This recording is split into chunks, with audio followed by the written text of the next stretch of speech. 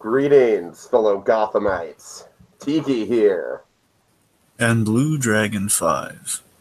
And we're back to cover episode 15 of season 3 of Fox's retelling of the Dark Knight mythology, entitled How the Riddler Got His Name. So join us as we venture into Batman's birthplace. And explore Gotham. Yes, yes. Dragon, do you like how I have both the Court of Owls mask and the Riddler green on? I'm doing double duty in the costume department. Ha ha ha ha ha. Right.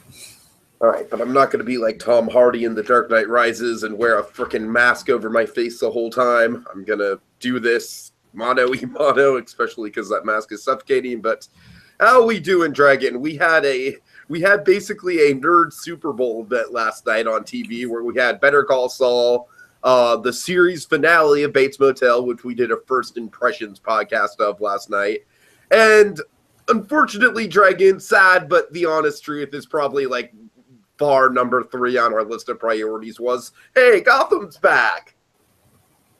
Well, I don't know if that was like number three on our list of priorities. I mean, Are you on. saying you were more excited about uh, Gotham than you were about Saul? Seriously? Well, I'm just I'm I'm saying that we I, we have this annoying break in between episodes for Gotham. That's what I'm saying. That's what I'm saying. I'm I'm trying to emphasize that point, Dragon. That Gotham just kind of like they sort of just limped back in. You know what I mean?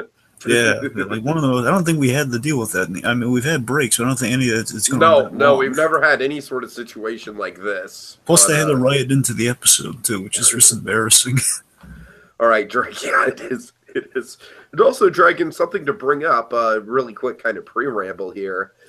Gotham might. It's not been renewed yet. In other shows, like uh, All the CW shows have been renewed. Yeah, yeah, and other shows of this nature, like uh, I believe Fox has. Uh, oh gosh, I think their new show is Reaper. I think I'm not sure. I there there's some new show they have on that's been renewed, and so I don't know, Dragon. It's not looking. It's looking like a coin toss that Gotham is going to get renewed for season four. Or not. Yeah, I, I think uh, personally, I think Gotham's going to be safe. I think they're going to be safe for at least five seasons. at least five seasons. We'll see. We'll see. But that's what I've heard, Dragon. It's on the bubble. It's on the bubble. So, uh, all right. Well, uh, all that aside, let's get right into it, Dragon. Let's talk about how the Riddler got his name. All right. So we start with a cold A open. and classic, a, yeah.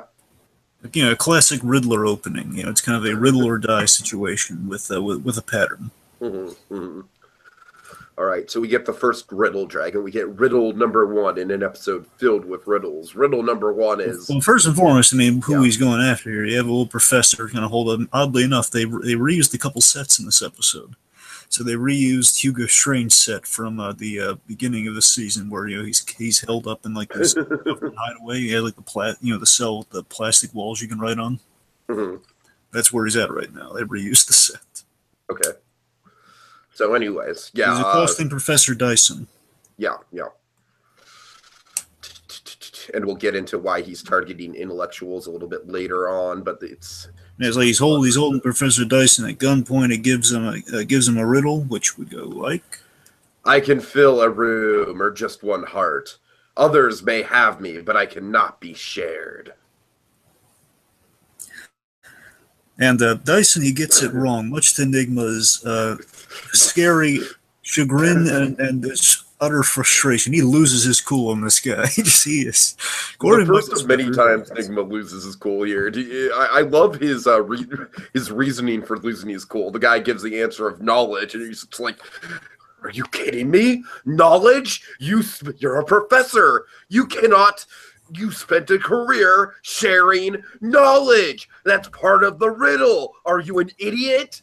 So this really plays into like a, a fun one of my one of my, my hopes for Riddler in, in this series has come true this episode. So I was really happy with that, and we'll, we get there a little later. But uh, this this plays into it, but more uh, more so in this episode. I love we have this kind of this new take on the Riddler where he just gets super infuriated if you get the riddles wrong.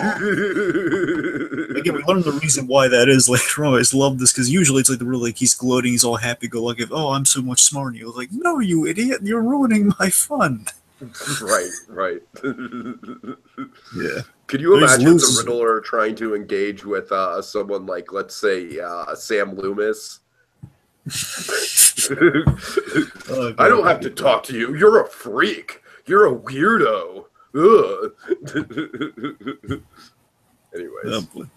So, uh, so again, it loses on the professor. He's uh, really what he's doing overall here is he's he, the reason. One of the reasons he's really losing it here, uh, really, he's just really kind of snapping at, at people when they get the answers wrong, is because he's he's kind of every time he yells, I figure it's like him airing out his guilt over killing the penguin. That's why he's like so oh, he's kind of so overbearing during these riddles. That's why he's so it hinges on him kind of proving a point here, and it's again as, as we find out the whole kind of crux of the episode is he, he's just trying to kind of these Riddler's processing his guilt over shooting his best friend in this episode, and that's kind of what you get. That's why he's so frustrated in these scenes sure, sure.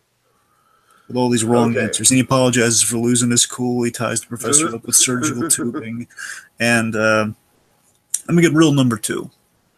I can be a member of a group, but I can never blend in. What am I? So then the professor, uh, he yet again just he, just he doesn't know. He just guesses a shadow, and then of course Enigma's just a shadow. What are you kidding? Are you kidding me? So it's it's been revealed uh, going into before we get the third. Enigma reveals it's you know he's been doing this with other the other greatest minds of Gotham, which include a uh, each of these each of these great minds of Gotham have failed the test. He mentions like you know artists, writers, philosophers, all all just completely disappoint him. I, I love how he puts it. He says they're uh, they're members of they're stars of Gotham's intellectual and artistic constellation. That's just good wordplay right there. it is. It is. So, uh, so Enigma then. Uh, so basically, Enigma's been trying to prove that Penguin's last words are wrong. That you know there is no the thing that keeps. We'll, we'll get a lot of times in this episode. Uh, there is there is no Ed Enigma without the Penguin. There is no Edward Sure, Enigma sure. without the Penguin. And th- those were you know uh, Penguin's last words before he was shot. Uh, before again that um, impromptu season break we just got. hey, your favorite character that you've loved since the first episode is dead. Good night, everybody. See you in four months. And you know now Nigma is without his god. So again, the whole episode's it's, it's Enigma processing his guilt and kind of looking towards what next, how what happens with him now. His teacher's gone, so how's he gonna? You know, his mentor is his kind of his, his, his guide in in the world in the violent world that is Gotham is now gone. So how's he gonna? How's he gonna move forward? And again, this is kind of his bizarre, twisted grieving process, giving kind of the, the kind of the quiz show from Heck to everyone. so Enigma, right. uh, so Enigma again, he, he reemphasizes here that he knows who he is, but he is unsure of how to be him. and we get riddle num, riddle number three. Riddle number three. Let's see. Uh, there was no me without. Oh wait, no, I'm sorry. I'm just reading off the. I'm just reading off the notes. Hold on. Okay, I feel your every move. I know your every thought. I've been with you since birth, and I'll be here when you rot. What am I? And he just he, he doesn't know.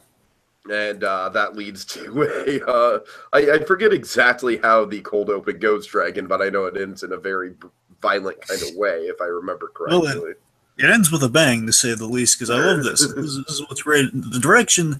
This episode I thought was well, was well directed because we have these great kind of visual things, like these little subtle things that do pay off by the end of the scene. Like Enigma's going around, he's like tapping on like the the flammable canisters and like the, the he sees the Bunsen right burns. right Either he turns the Bunsen burner. oh yeah that's right that's right And then yeah. by the end of the scene, ends in a dark knight sort of way and you know appropriately enough because i kind of feel like throughout the episode he's sort of a joker looking for his batman so it kind of ends with him walking away from the building and in a dark knight kind of fashion dragon you see like a part of the building blow up Yeah, Yeah, essentially, you just he when the guy got the third riddle, when the professor got the third riddle wrong, he turned these giant canisters of flammable gas on, and he just he left, he locked him in the room while, while Right, he's tied up. right. Just it's uh, explosive to say the least. When Dig with his cool and Dig was walking away. All right, uh, and of course that gives us our cold open, solid cold open on Gotham. yeah, Park. solid. props. You're very right, very solid. Gets the thumbs Okay. up from Poppy. yes, it does. Yes, it does. So uh, Enigma's on to his next victim, which we'll find All out right. who that is. On to his, on to his next. So, uh, meanwhile, Catherine is testing Doppelbruce. Because let's not forget, folks, because again, it's been a while. Doppelbruce Right, right. uh, was was captured by by the Corvals. Like Talon injected uh, injected Doppelbruce, and he was just kind of taken put into Catherine's uh, limousine. That's it. The last we saw of him. So, well, I'm sorry. That, that's the main. That's it's in the recap. So that's one thing. It's the last. So I actually saw like he's all he's been prepped and ready. And now we're getting to seeing how prepped and ready he is. Like he was up here at the end of the last episode we saw. Like close to the end the. Point is, Catherine is is testing Doppelbruce's progress since capturing and training him. Some people have, su- have suggested he's been brainwashed, and we'll see how much that's come true. Like if he's actually buying into the quarter, or if he's been brainwashed. Anyway, so he's been trained, to say the least, and he's been trained to say, uh, you know, he basically recount uh, the Wayne murder beat by beat, like through like Bruce's first person perspective. Even like I, I like the touch of having small memories, like you know he remembers the cat in the alleyway Uh-huh. and stuff like that. Oh yeah, of course, a little bit of a Selina Kyle reference too. Yeah, yeah, of course, of course. So again, now uh, Doppelbruce is a Selena, disciple- Yep. So now, uh, so now, uh, Doppelbruce is a disciple of the of the Court of Owls, which is a dangerous combination. And Catherine's saying, "Excellent, my dear." Again, I'm, I'm really liking Catherine. I've always liked Catherine. she is fun. She is fun. Yeah. Yeah, I think she's. A, I think we have really good faces of the Court of Owls because usually we don't get that. Usually we never really see the face of the members of the Court of Owls. We got in here and there, like kind of members, like towards the tail in the in the book. You know, we saw a few people behind the mask Mhm. towards the tail end, but you know, we never really got to see like kind of reoccurring faces of like, oh yeah, these are notable members of the court.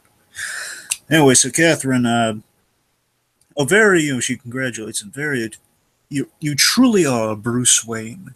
And then uh, she calls Frank with the news, tells him, okay, uh, okay, uh, Bruce Wayne, quote unquote, is ready. Know those exact words, but yeah, Bruce, we're already here. And then, of course, now while she's been tasked with preparing Bruce, the Bruce Wayne side of things, uh, Frank has, has been given a family matter of convincing his nephew. Because let's not forget a big twist of the last Again, that episode. was- Again, let's you know, let's just pick back up on this plot line. Gordon the comes up to Uncle Frank's, and then four months later, we finally continue this family reunion. No, no, no. He wasn't just like he wasn't heading to see Uncle Frank. Uncle Frank stopped by his doorstep. Right, time has passed. We do Okay, well, you know what? That makes it even worse, all right? Because it's like we, we don't even know the context behind it. anyway, this, this basically the, the end- where we saw Frank last, he just appeared at the he's the Right, on Gordon right. doorstep. And they acknowledge in the, the reason we're being so coy about this is that they do acknowledge in the episode weeks have passed, in, like here and there, and, to- and it's uh, it's just really kind of like why do they have to? Like, it's just silly. Anyway, uh, ridiculous, yeah. like a week I get because again that happens. Like okay, we can't do this episode this week or two at the most, but like it's been months. Right, Well, right. it feels like months, probably actually like a month and change, but it doesn't matter. The fact is, uh, Frank Gordon, uh, of course, the uh, the long lost uncle that we're going to get a wonderful line from Bullock later on about the, uh, the long lost uncle of, uh, of of Jim Gordon. I know how silly that sounds, but so far they're winning me over on it. Uh, we have Frank uh, Frank Gordon is uh, is been tasked with winning over Jim so he can so he can uh, join the Court of Owls. The court wants Jim Gordon to join their join their ranks. Mhm. Let's see. So uh, they uh, Catherine also reminds him that. Yeah, yeah, I'm sorry. Go ahead. Catherine reminds him that uh, you know if his nephew needs to be on board, or else essentially, you know, or else he knows it needs to be done, which means you know if he's if he's not with us, he's against us. Which means, dead. right, right. in other words, they'll send the Talon for his head. No, no, but uh, Then we have uh, Doppelbruce like, Alfred Pennyworth has been with me since birth, and he's been my guardian since my parents died. so creepy. to that effect. It's so creepy as she says, "Do the rest," and while he's saying that, she's like filling a needle. And we know what happens to that needle later on. It's so so cruel. You don't know, like, oh gosh, she's going to inject him again just because she has to, or again, I do like that. It's kind of like a little thing that pays off uh, Kind later of like on. a Winter Meanwhile, Soldier type situation going on with Doppelbruce in a way. Yes, quite possibly. And we don't know how well they've been treating them. Probably, Uh-huh. you know, I don't know. Maybe uh, the court's a little more civilized than uh, the Indian Hill staff. Sure, sure. Anyway, so as Jim arrives, uh, Jim arrives there. Uh, Double Bruce is going through the uh, is, is going through the Alfred uh, preparation. We're at uh, we're at uh, Cobble, the Cobblepot Mansion or the Van Dahl Mansion to be more exact. Uh, Nygma is, ta is taking hallucinogenic pills. After reading about the mayor's disappearance, again, this addresses like yeah, weeks without the mayor. Right. Uh, and now, Dragon, I, I got to admit, when I first saw this device, I was like, Yep. okay, this is a good compromise to get Corey, my, you know, to keep uh, Robin Lord, Lord Taylor on the show and, you know, have him as kind of like the the mother type Yeah. character, if you will. you Of course, know? we've had this funny runner with Penguin in the last like season two of literary Gotham. references. Yes, yes. Yeah, the, well, and the film references too, but yeah, mostly literary. Yeah, because they think of their books based movies based on books. Uh, One Flew Over the So, course, Cuckoo's Nest, Clockwork Orange, Cinderella. Yeah. And now we're kind of uh, well, if, if you want to be technical, it still fits the mold because we have Robert Bloch's Psycho. Psycho. right, right. More, it's more Bates Motel, to be honest. But you know, I'm saying if you really want to be, if you want to keep the pattern going, you could always say, yeah, it's a. It's and a, of course, a- of course, Mr. Robot did this before Bates Motel even did this. So, oh, well, no, it didn't. Bates Motel. No, Bates Motel did before Mr. Robot. well, I, I'm saying the specific thing of having like the stand-in for the dead character. All right, all right. Let's not split It- it- hairs. you're right. It's it's kind of it's kind of muddy. It's kind of muddy, but anyways, Let's not muddy the waters. So, muddying the waters. oh god, God bless Paige. Oh, we love Paige. So, uh, the penguin appears. Uh, so, what we're saying here, we've been uh, dancing around, is that the penguin appears after Enigma takes one of these pills. There's a little box full of pills. Takes these pills. They're not to prevent hallucinations. They are like Norman Bates would approve these pills. He would take like these. By the, the, yes, you would. Yes, Uh, would. Uh, a penguin appears soaked on the couch, uh, and I love this idea that you know Oh the, my he God. appears as Enigma would imagine. Like, what if penguin lived through what I shot him? What would it, what would it be like? He'd be- be around, be hanging around, just you know, be constantly covered in crap from the from the bay. You know what's just, funny is that it kind of reminds me of something that they'd showcase in like a Pirates of the Caribbean movie, like a dead pirate who's constantly underwater or something like that. Like it's a cool effect. I like it. Uh, and then of course I love how R- Riddler's like freaking out, like, "What I tell you about drinking water on the couch?" and then uh, you know, uh, penguin's born. Now you know, uh, you know. Uh, you're the only one who frets about drug-induced hallucinations making a mess. Oh God. Then we have so like this.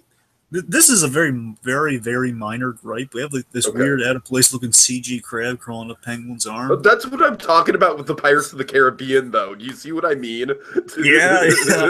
that bugged you too a little, just like just little buggy. Like, yeah, it's, a little, it's, it's, CG. right, right. I'm all for the crab. I'm just saying, can we? We couldn't have gotten back in the Spielberg days. We would have had like a real crab placed on the guy. Back Now- in the now Spielberg we're- days, man. now we're Spielberg month coming up in June. Yeah. yes, All right. it's on our minds. That's why. So, uh, So basically, as he voices, uh, so Penguin here essentially is voicing kind of enigma. And of course, much in the Bates Motel style, we have our our, our, our psychological perceptions of people voicing what our characters are thinking. So basically, it's kind of a it's enigma having a conversation with himself, only it's through the Penguin. So uh, Penguin is kind of voicing Enigma's uh, paranoia and the inevitability of what he's doing. In a way, he's he's pointing out what the audience and readers have pointed out about Riddler for years of like, why are you leaving clues for your crimes? right, right. That's essentially what that's essentially what he's doing. He's voicing the logical side of Enigma, saying, "No, you shouldn't become a villain. What's wrong with you, you idiot?" so uh, let's see. So uh, we basically uh, kind of find out the whole reason why Ed's going on this killing spree, and it's basically to find a life coach. a killing spree for searching for a life coach. oh God. god. I love them. I, the act. Here's the staging of this is great. How we have them mimicking their movements, like when Enigma scratches. Yeah, yeah, you're right. I'm glad you Robin Lord pointed that out, Taylor yeah. scratches like his, his chin. It's, it's great stuff. Uh, so again, Nate was chatting with his fallen mentor, uh, kind of, uh, kind of like a dark, uh, more dark, realistic Force Ghost, essentially. Uh, Well, until the ending, but yeah. Uh, Penguin is asking, uh, you know, why, you know, why riddles? Why leave riddles? And then uh, we get some cool insight to the Riddler's kind of motivation uh, here, and we get some great dialogue from Riddler throughout this episode. Like, uh, you know, uh, to solve a riddle, uh, to s- basically talking about riddles. To solve it is to solve. To solve it is to solve the mystery of a person of the person posing it. Basically, what this says is that Riddler. The reason he asked riddle Enigma's asking.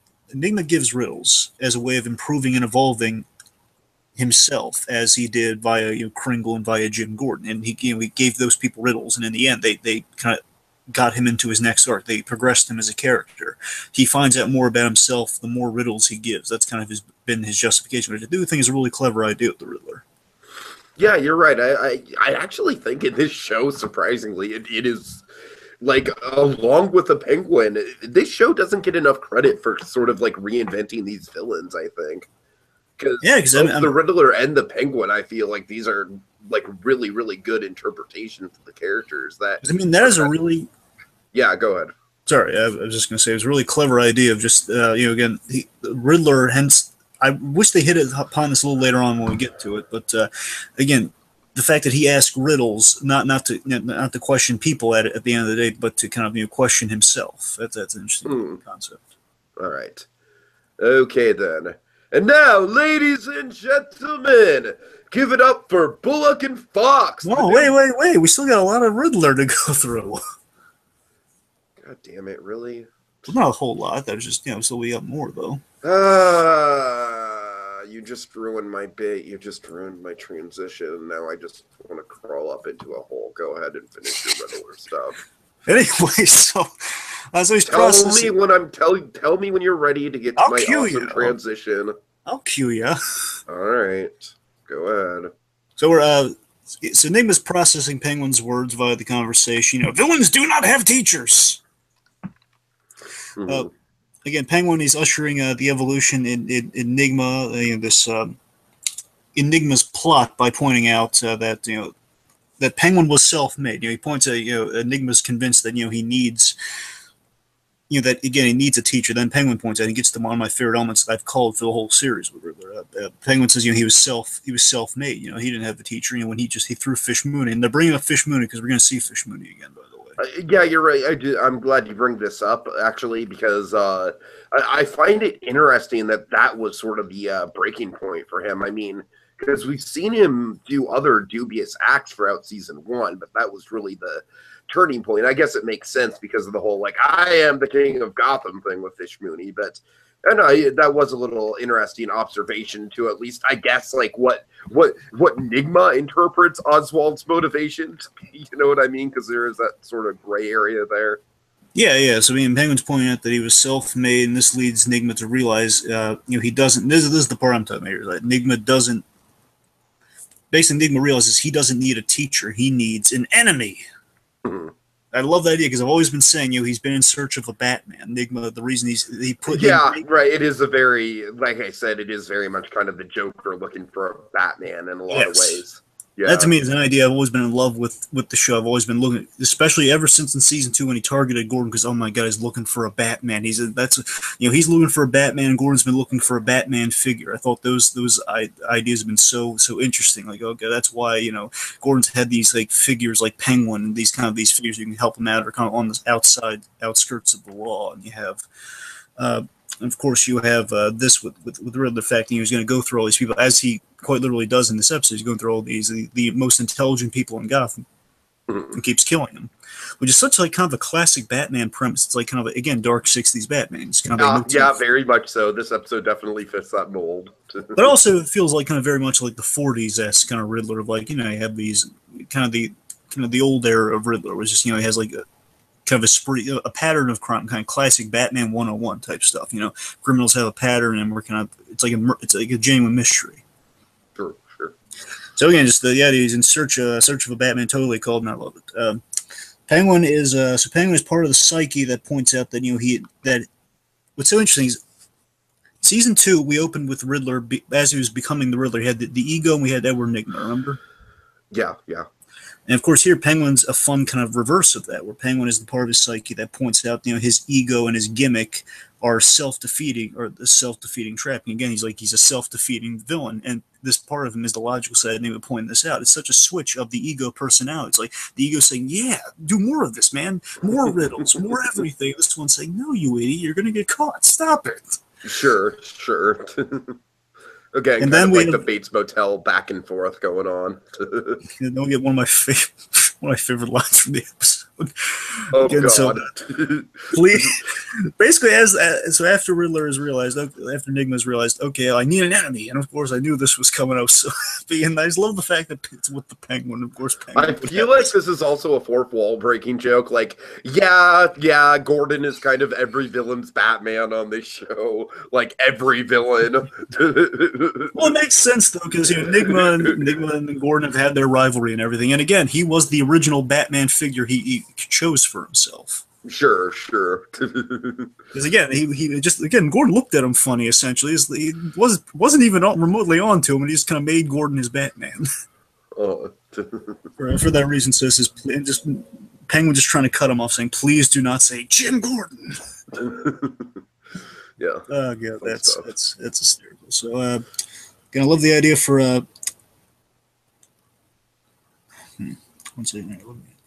Here, let me- I love the it's last thing here before we transition. Uh, I love the idea that we the need for a Batman creates uh, Riddler, and Gotham set him down this path. Again, this feeding the whole Gotham creating its villains and its heroes idea, which is kind of the the crux of what the show should be going for. When the show's at its best, it's kind of playing into these ideas, kind of playing into these Scott Snyderian ideas Sure, sure. you know, it, like you know, Gotham, it, it gave him, you know, and what got how this kind of plays in the Gotham as as the whole kind of scope of it is that you know Gotham set him down this path.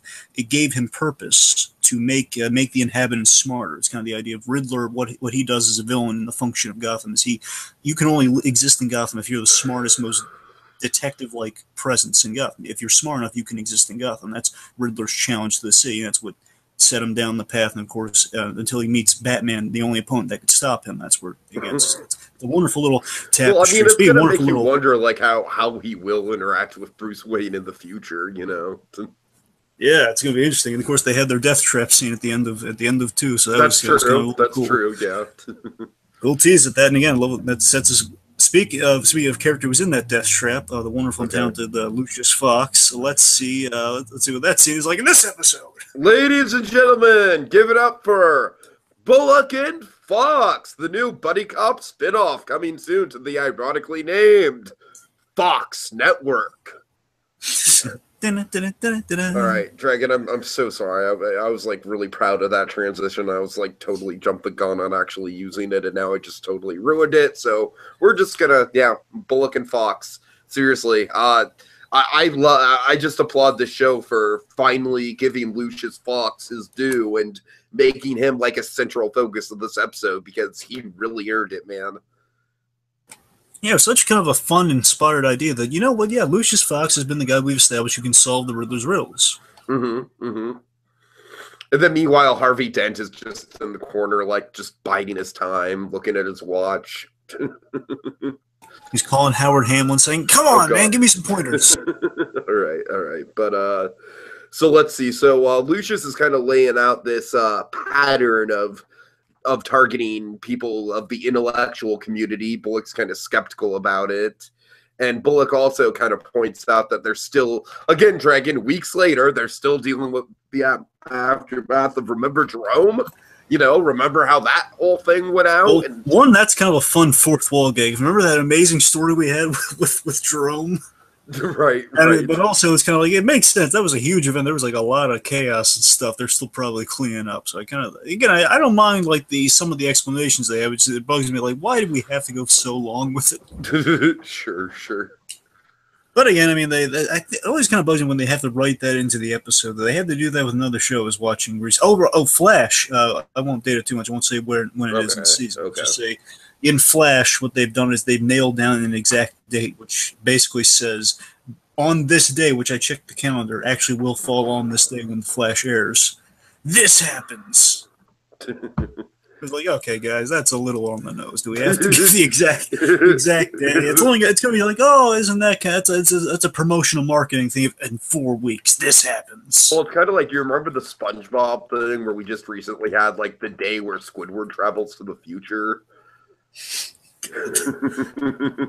Anyways, Anyway, or of So, course uh, the most famous example, the Back to the Future too. Hmm. well, true.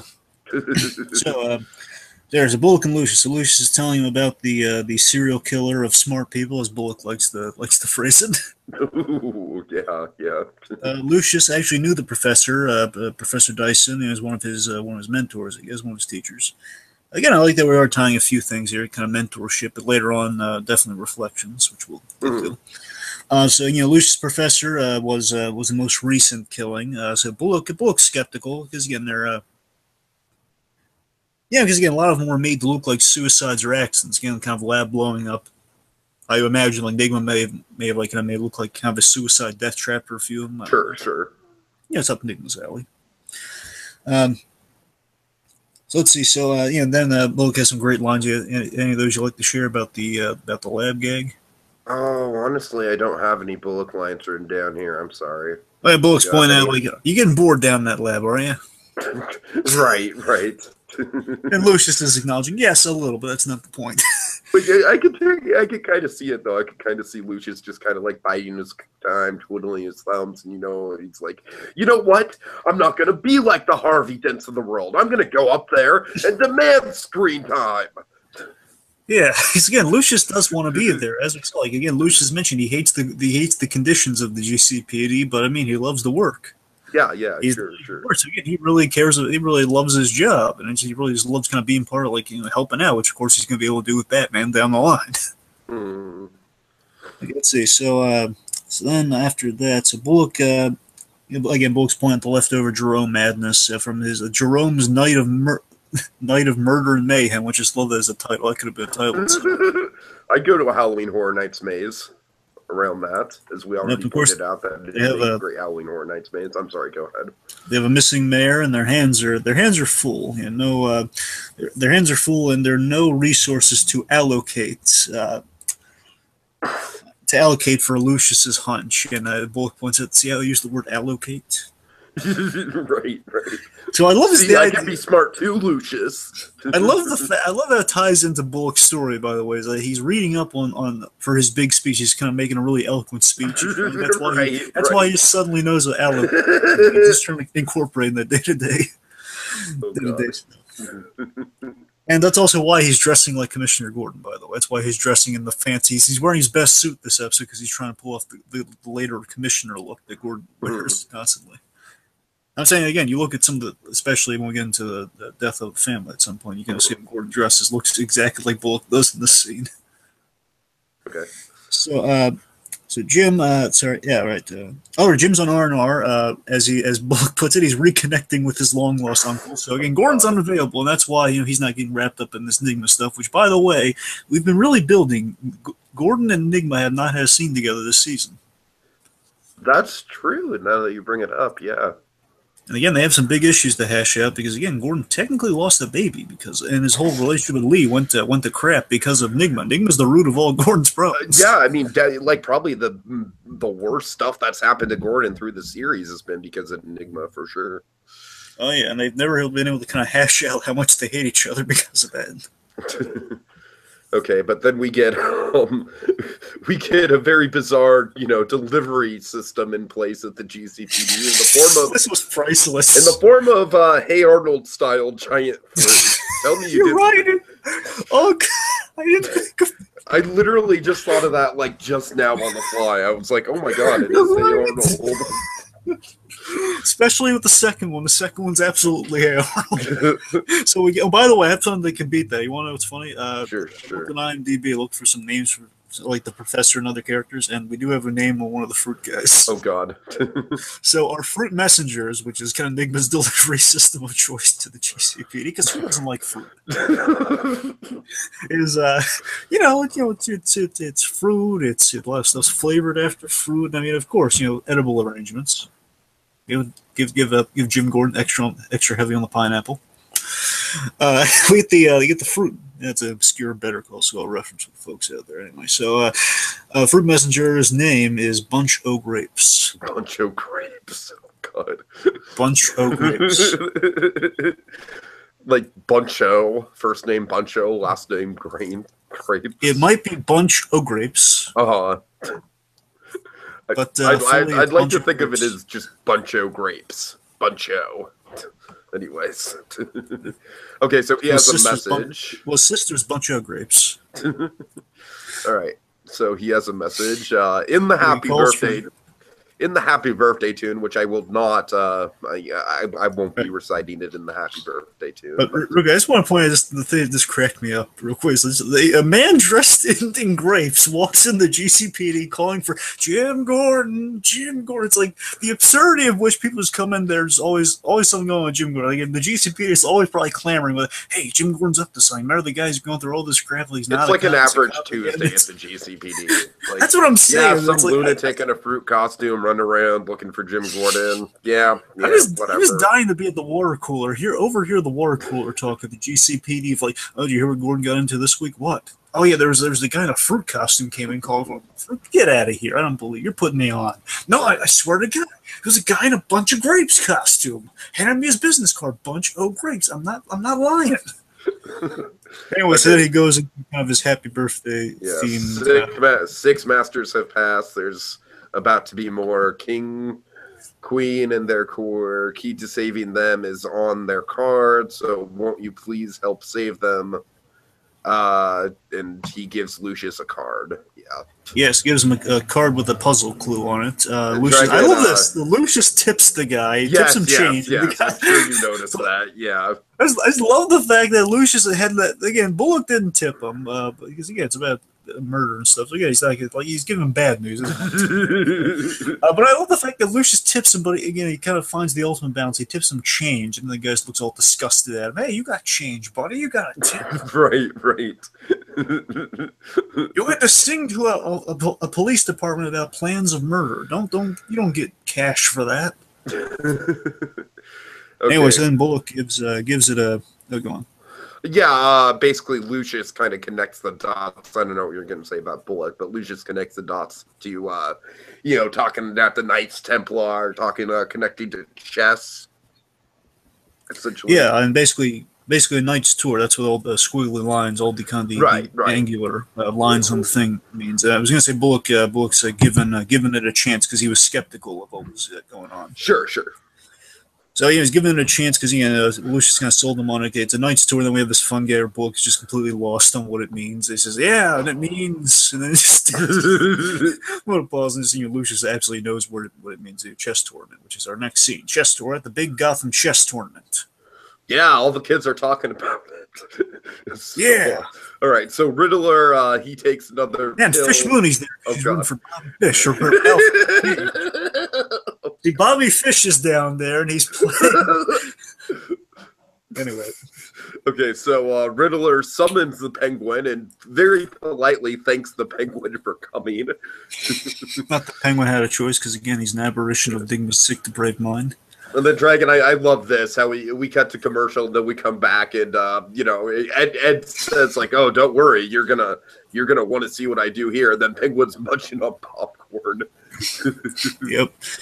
And I love this. This is so ridiculous. It's like the Pen- well, Penguin's chowing down. Nigma's shouting strategies like from the balcony, like the old guys from the Muppets, right. like like Statler and Waldorf from the. These are like the ultimate Statler and Waldorf from the Muppets. Oh, for God. Gotham.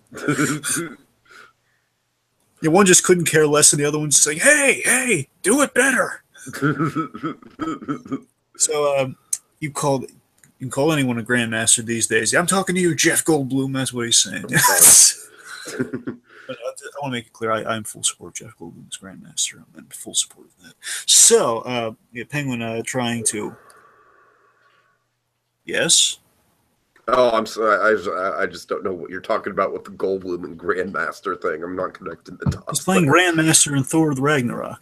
Oh, oh, okay. That's the name of his character. I'm sorry, I don't know the name of his character because I'm a casual. Okay, anyways, I'm dumb. So Penguin, uh, so Penguin tries. Uh, well, let's. So, uh, oh, so Penguin tries confronting Nigma with the real reason for all this. We're getting this. Yeah, I love the mystery. It's kind of the, kind of the, the the main sticking point of Nigma's search for an enemy. Like, again, while that is cool as seeing thematically, the big idea is what Riddler is going to be doing. But uh, again, at his core, why all this is coming about now? Why he's kind of on the path of becoming Riddler now? So Penguin wants him to face. Uh, Penguin's trying to. Uh, the real reason for all this, is, as Penguin points out, is that he can't. As, as he points out, you, know, you can't hide things from your inner psyche. Right, right. Again, he's just going to point out the Bates Motel logic, but you know, like you can't really hide secrets from yourself. The, the other one's going to know. hmm And uh, you, of all people, should know this. And I love how he, points it out because, again, season two, he's, he's debating with himself about you know his ego, the the Riddler ego he's been contending with. So he absolutely knows what this sort of things like keeping secrets from himself because he had to go on a search for Miss Kringle's body through the GCPD to keep the secret from himself. Uh, you know, you need to face the truth. And again, is the Enigma's really trying to avoid facing the truth. We'll get more specifics on that uh, soon. So then, uh, as soon as he sees the police show up, he's instantly kind of uh, elated until he realizes that Gordon's not there. Kind of my reaction, but you know. Yeah. God. Really? No, no, no. I'm not, I'm not holding. I'm just saying it's my ordinary reaction of like, yeah, is he there? Oh, no, he's not. Let's see. But no, no, no. It's, it's fine. Again, he's doing other stuff. So the GCPD arrive. Uh, no Jim Gordon, but who solved mine? They realize it's his old pal Foxy. oh, Foxy. Uh, Enigma is intrigued by this because again, he's had a rapport with Fox. The only other guy who's been able to solve his riddles. It's Mhm. like, hey, it's Lucius Fox. That guy's giving me a run for my money. Uh, he uh, and we see early on what he's done is he's basically he's set charges like electrifying charges underneath the uh, the little chest timer. So basically, if someone like, hit the yeah. timer, they get like a big zets. And uh, now that the GCP are there, he activates it, and uh, you know they uh, the few chess players you know, they hit their timers. you know, no one, everyone move, everyone get out. Wait, no, no, everyone freeze. Because it's happening a few more. Forget what I just said. He's no Captain Barnes. No, he's not. No, he's not. then again, he's not a psycho who's tearing people apart with his bare hands. That's probably a good thing. So we have uh, Guilty. then, uh, Guilty. guilty. So uh, meanwhile, uh, Jim and his and his uncle Frank are playing catch up. Oh God. Oh God. Uh, so again, Jim's asking some very straightforward questions. You know, why did you disappear? Uh, what what happened between you and my father? Mhm. And uh, and uh, Frank's promising all in all in time, all in time, but he needs Jim to trust him. And uh, Yeah, he's Jim just kind of being vague. He's just sort of beat, beating around the issue a little bit.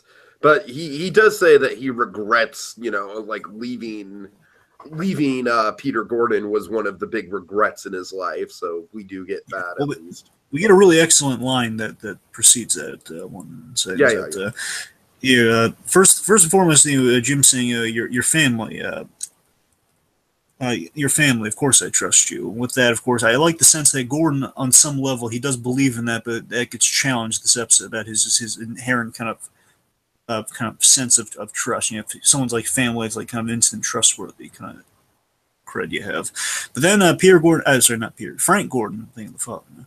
Frank, Frank is a really good line. I really love this line. I love him posing this to Jim Gordon because we've seen him go through this for about uh, two, two or three seasons. In the beginning of season three, definitely went through this. Crux of season three, Gordon's gone through this. He says, "Have you ever done something that you felt was right at the time, but you would give your life to do Sure, over?" sure. which of course Jim has, you know, he's gone through in season two and he's uh, been on the path of undoing that for season three. So again, all of that, uh, I love that it's kind of tying in the season three as well. It's a really good line. And Jim, of course, says yes. And then uh, Frank relates it to himself, saying, you know, he's uh, he regrets breaking from uh, breaking off from Peter, uh, and he's returned to Gotham uh, to uh, to reconnect with Jim, which is not entirely untrue. right, right. Not But I, I, entirely, will but admit, I will admit, I do like how they are playing Frank as kind of like we still, even at the end of the episode, we're not entirely sure what side he's on. So True, true. And of course, we have the wonderful James Remar, who not only can play kind of the supportive, kind of loving father figure, he can also play kind of the, the ruthless villain at the same time. So it's kind of hard to exactly, exactly. And by the way, I just kind of realized something. You tell me if this sounds crazy. Uh, you uh, you remember the, the Lon Chaney Jr. Wolfman at all? Uh, that's I, I'll, I'll admit that's one of the Universal monster movies that's not really fresh in my memory. Well, he was in Abbott Still Meet Frankenstein. You remember that at all? Uh, I, I it's been a while. I know you're gonna be reacquainted with it soon, but Yeah, it, it's been a while. anyway. Well, remember uh, remember Freakazoid when he ran to the Wolfman in Freakazoid? It's been it, it- just get your reference, man. I'm not. I'm not gonna. I'm sorry. I, I kind of had this weird thing in the episode where I kind of realized, oh my god, James Remar will make an excellent Lonnie T- uh, Lonnie Talbot for the, the guy. he'd actually be an ex. He sounds a lot like the Wolfman, where he's like saying it when the moon is full. I when he's going over the history of, of the court later on. He's like, you know, when it sounds like when the moon is full, you know, I turn into the werewolf. It sounds, oh my god, he could actually be an excellent, you know, if they ever did. Well, a, I, a yeah, I will admit that uh th- that I, I did like the Benicio del Toro Wolfman and found that movie to be really underrated. So Well, my, my point is just because that biopics been on my mind lately with the founder. I was thinking like, he would make an excellent, uh, you know, Lon Chaney Jr. if they did a movie about that. uh Anyway, so uh, so following that, uh, Alfred, we got Alfred. Alfred's uh, teaching Bruce how to how to throw throwing stars, but you know, yeah, I'd say Knives. Alfred knives. knives. okay. I'm, I'm sorry. I'm sorry. Don't don't crucify me. I I, I didn't see what they were. Uh. But uh, Well, You know, you they were. well, I- I'm sorry. It happened. It's fine. It's fine. It's- God, It's fine. don't yell at me. I'm not yelling at you. Just telling you they were not. They were not. They were not stars. but um, so Alfred, you know, he's a little off his game with uh, he- he's given good advice, but he's very much like as Bruce is going to throw it, he's very much like distracting Bruce at the same Well, that's the point. He's trying to get him to go through distractions. It's kind of like uh, it's kind of like a golfer, you know what I mean? Like the, the Yeah. guy yelling distractions at a golfer. Yeah. And what's kind of cool about this is like, oh my god, Alfred's teach. He's training him with. The, I just got such a kick out of this. I'm a fan. Oh, he's teaching Batman how to throw batarangs. It's so cool. In a way, yeah, yeah. It's a step towards that. So Alfred's, uh, yeah, again, Alfred's distracting him mid throw to prove a point, and he and he's br- using this as an excuse to bring up his distraction with Selina Kyle. Mhm. Bruce denies this. That he's Bruce denies that he's unfocused. Alfred shows Bruce a note that he received from quote unquote Selina Kyle, Oh yeah. asking for a meeting. And uh, I like this. I like that Bruce is uh, he's kind of playing hard to get here. I really like that thing. Uh, It's been and this again bringing up the weeks thing. It's been weeks since, uh, since we've right, right. it's been weeks since uh, since I've heard from her. It's going to take Oh, a lot more than a note to have me running. Okay. So It's kind of like a uh, it's kind of like a peanuts, like Charlie Brown. I'm not going to kick the football. The other time she's pulled oh, the football away right, from me. Right. okay, so Lucius. Is uh, studying the chessboard. He's kind of looking at all the pieces, and uh, let's see, uh, Nigma. Oh God. Lucius. Uh, he's going through the the rigged chess equipment. He happens upon the chessboard and he sees that he knocks the pieces over and he finds on purpose. He's flipping all the chess the chess pieces over and underneath them on the green parts of the you know, the, the little felty green parts Uh-huh. of the chess pieces, uh, he discovers a phone number. And then, uh, meanwhile, we have Riddler up on, uh, you know, overlooking this, and he's like, "Don't you know it's bad to go? It's rude to go through other people's mail." you know, the telegram. He tells him you know, Gordon's not in as you know, as he as he calls him. They're kind of chatting it up on the phone. He basically informs. It's kind of like a Die Hard three moment where he informs Fox, "Now you're stuck. Now you, basically it's like Sam Jackson Die Hard. There. Now you're involved in this, whether you like it or not. Sure, sure.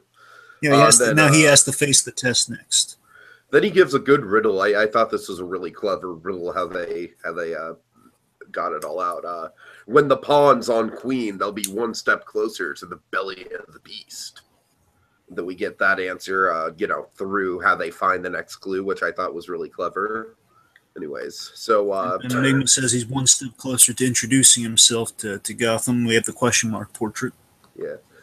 So uh, James Remar, uh, not as good at trust exercises on this show as he is on Dexter. I gotta tell you, this was a very bad trust exercise. Or You know maybe what's it's funny? just This- Gordon like just not going along with the trust exercise because Gordon literally like like fires a gun just to make sure it's loaded, just to make sure he has ammunition against Frank. That I gotta like you, yeah. That's a cool moment, though. Just the idea, like, first of all, I'm just thinking, okay, Gordon doesn't want to shoot the deer, and I'm thinking, oh my god, it's even better. It's like he just he wants to make sure he has ammunition, in right, case they- right. in case he turns on, him, in case it's like a setup of some kind. That's because again, I, I- I like that you know, Gordon's been uh, kind of again with I think Nigma, oddly enough, has also been a very uh, good kind of like don't want to put your trust in the wrong people sort of thing. So you know, uh, uh, Gordon's like on, on edge with anyone he trusts. Uh, basically, the minute Frank says he, he wants to reconnect with Jim, but still he's not getting straight answers. So he wants to make sure in case this guy isn't getting the straight answers. He comes out of the blue. It's been 20 years. A little suspect. Mhm. So you know he's intentionally misses, and I, I like that Frank's a little offended by this. Oh come on, Jim. he's still uh he's still waiting for the promised truth that Frank said he would tell him. And then we get this, and I got to tell you, hearing James Remar say this, I thought was just undeniably cool. Uh, this Frank telling Jim the history of the Court of Owls, like, oh yeah, Remar talking about the court, and then of course we get the kind of the, the kind of the summarized version of the Court of Owls history, which is their Mhm. century-old secret society made up of Gotham's oldest, wealthiest, and most influential families. They're devoted to maintaining. Uh, now, love now. This is an, an interesting detail that is not untrue to the Court of Owls, but it's specified, and I think will definitely play into a huge element of the end of the season. So it's important. He mentions that the Court of Owls was initially devoted to maintaining the balance, uh, balance in Gotham, and over time they became, uh, with their over time and with the increasing power they got, they became corrupt, and they became their Right, right. core mission became corrupted. So they were all about kind of exercising their sounds power. and about right if I'm remembering based on the book. Yeah, it's it's it's it's, it's in line with the Court of Owls, Uh-huh. absolutely. I'm just saying that we've never had it kind of like established that they start off as something pure that then got corrupted over time. That's kind of a interesting little little detail. It's kind of I'm just saying they're kind of. But you're right though; it does absolutely line up. You know, they've always they've they had the best intentions for Gotham, but by Sure, their sure. definition of what the best is. Anyway, so basically, it's kind of a little bit of a slippery slope of like, you know, well, we influence things. So basically, we're the final judges at the end of the day. We, the, the wealthy and the elite, choose what's best for Gotham. Still kind of, it's developed into that though. Uh, let's see. So uh, Peter, uh, Peter and Frank were members. This is a big reveal in the whole conversation here. So Peter Gordon and Frank Gordon were both members of the Court of Owls. The uh, the court and the court wants Jim to join uh, join the court now. Big reveal. Okay. Oh yeah, oh yeah. See how that goes. All right, so the answer to the riddle was uh it was a pawn shop on Queens Avenue. I don't know, Dragon. That was just simple and Fun, I like the chess. I like the, I like the chess runner. Yeah, yeah. A lot of people nowadays are saying we got too much chess. We got too much Yeah. X Men. It's chess all over the place. I mean, come on, this is fun. If it works, it works. Yeah. All right. So uh, this was a, this is a fun little scene. You remember? yes, yes. Like Lucius they're is just, like getting he's getting up in this guy's face and he's explaining why he's like, oh, it's a it's a personal space invading tactic, right, Bullock? Now this is like where we get the real buddy cop show. Oh, This is yeah. where Oh, Bullock yeah. and Lucius are at their at their absolute finest, and this is like Bullock getting smarter with the interrogation techniques. He's always been pretty clever when it comes to interrogation. Basically, they're interrogating Winston Peter, the uh, an employee of the pawn shop, Mhm. and uh, he's, Bullock's got basically we have the nice suit threat. So Bullock's in his nicest suit, which is true, but not in, but not inaccurate for if you were just lying to someone to make him think something. So basically, Bullock says, uh, "Yeah, I'm in my nicest suit." Lucius hit him, and Lucius, of course, is the most nonviolent man. on the planet. right, It's right. like, what? He says, "Hit him! I'm wearing my nice suit. I can't hit him." and then uh, this is well, no, we don't need to hit it. We don't need to hit him. It's said belly of the beast. Hey, if you want to cavity search this big slob, by all means, go ahead. And I love this line; is priceless. Uh, uh, Winston here he says, "You could just hit me." Because I imagine he's just looking at Lucius. He's like, yeah, yeah, I, I could handle it. It would, probably wouldn't hurt me at all. I'm gonna say like, let's let's not get handsy here, guys. Let's just go with the closed fist versus the the pointed finger. Mhm. So and then uh, okay, let's see. So then uh, he reveals that he was covering for the owner's cousin who was working uh, when when the thing came in, Teddy uh, Teddy uh, Terrio or something. Uh, Teddy. Uh, I, I know in my notes it's like it's very close to the whole like Max Terriot. yeah, I know, no, that's that's Terriot. This is like uh, this is Terrio. I think it's Terrio. I think it's like it, it- it's T H E R. You know what's funny? You know what's funny is like it's in between the cor- correct pronunciation of Max Terrio and uh, uh, Max Terriot, Terriot, and then uh, the pronunciation that we thought we were going with. You know, like Yeah. Max Terro. It's like kind of in between. It's Terrio. We've been on so many different names for that poor kid. We just been, we've been butchering his name for four seasons, and we finally got it right for the last one. I feel so bad for that. Well, we'll be praising the heck out of him for the series. Oh, you're finale. darn right. He might have he might have not only stolen America's heart, but maybe stolen some prestigious gold awards. You know what? I wouldn't be surprised. I wouldn't be surprised, anyways. Anyway, so uh, he uh, so in checking the checking for the uh, the belly the belly of the beast clue. Uh, Terrio uh, translates to uh, uh, in in Greek uh, his the last name translates to beast, which of course would play into the belly and the beast. So clue. And then Mhm. Lucius, uh, Bullock points out, "But sometimes I think you make that stuff up. right, right. All right, let's see. Meanwhile, Alfred is making pie. And then uh, Harry Osborn just gets his interest peaked, like, ooh, pie. No, here's the thing though. Harry Osborn, after he says he's making a shepherd's pie, you hear a knock at the door, and you have uh, Harry Harry Osborn shows up and he has like a little bib on that says "I I pie." I, it's like I, it's a little slice of pie, and then like and then pie on the shirt. Oh no, it's even better. Here, here's how it's even better. It's like uh, breach one of our, uh, this is the reference one of our colleagues here. It yes, says yes. I little slice of pie in the shape. Of, it's it's turned you know turned to the turned to like the curved parts at the top, so it looks like a sliced heart. Oh my god. I heart and then the symbol for pie. Yes, yes. I heart God. pie. So you got to remember, uh, James Franco is also an intellectual. He's got a really high IQ. So I heart pie, and he has like a little knife and fork and a plate in hand. Like, did someone say pie? Can I come in, please? Please, wrong franchise. Come on, but it's lunch. oh god. The Bullock's there. Did somebody say lunch? Is he like a little? Is he like a bib too? Just saying, "I I break for lunch." Meanwhile, Ho- Howard Hamlin's just in the corner sipping tea. You know, he's No, here's here's the funny thing. Hamlin's at the diner they're all supposed to be at ordinarily. And it's like, Come on, he's like checking his watch. Like, okay. Us, us and our tangents. Us and our tangents. Anyway, so pie aside, so Alfred's Wow. making uh, shepherd's pie again. all of that for pie. Wow. Quote Hugh Neutron, endless pie. okay, so Remember, folks, uh, all the pie references are on Tiki. okay, so he uh, he basically tells a story to Bruce about how he got the recipe for shepherd's pie. The from- Sylvia anecdote. Yes, yes, yes, and uh, Bruce calls him on it. you're just telling me a, a, a love story to get me to go with Selina. Well, yes, because it's an opportunity, Master Bruce, and I don't want you to miss the opportunity. opportunity to get closure. That's exactly what Alfred wants him to get. You should get closure, and Bruce agrees to it if he'll make Alfred stop. And I said, "I'll keep the pie warm for you." All right, all right. And by the way, that pie might be an important plot point. I kid you not. I believe you. I believe you. Okay, so, so, uh, uh, I love how we get the detail on why Bullock's wearing the nice suit because he's going to uh, give a nice, heartfelt speech to the new cadets at the graduation of the academy nice. I like that. graduation. I like that for Bullock. Bullock's kind of coming to this. He was just kind of the you know the the somewhat soiled cop. And now he's like he's kind of the example for the young guys coming into it. sure, sure. Which is nice. Showing Uh, kind of Gordon's influence on Bullock too. But of course, he's just being very boastful about it, and Fox is just like, How do I look? Gordon has to deal with it. One of my favorite bits. is this what Oh, Gordon yeah. deals with constantly? And then a bull can't find his badge, and that's going to have like a Dark Knight esque payoff. oh boy, oh boy, yeah, it is. So, Okay, uh, so let's see. meanwhile, we have. Penguin is Uh, chastising, uh, Yeah, Penguin's Nigma. chastising Nigma over uh over the chess killer name. Oh, I'm so terrified of the chess killer. Which, uh, the Lord Taylor is so great. It's like a fun new variation on the Penguin. He's had we've had a few of them again with all these literary references. They have yet sure, another one. sure.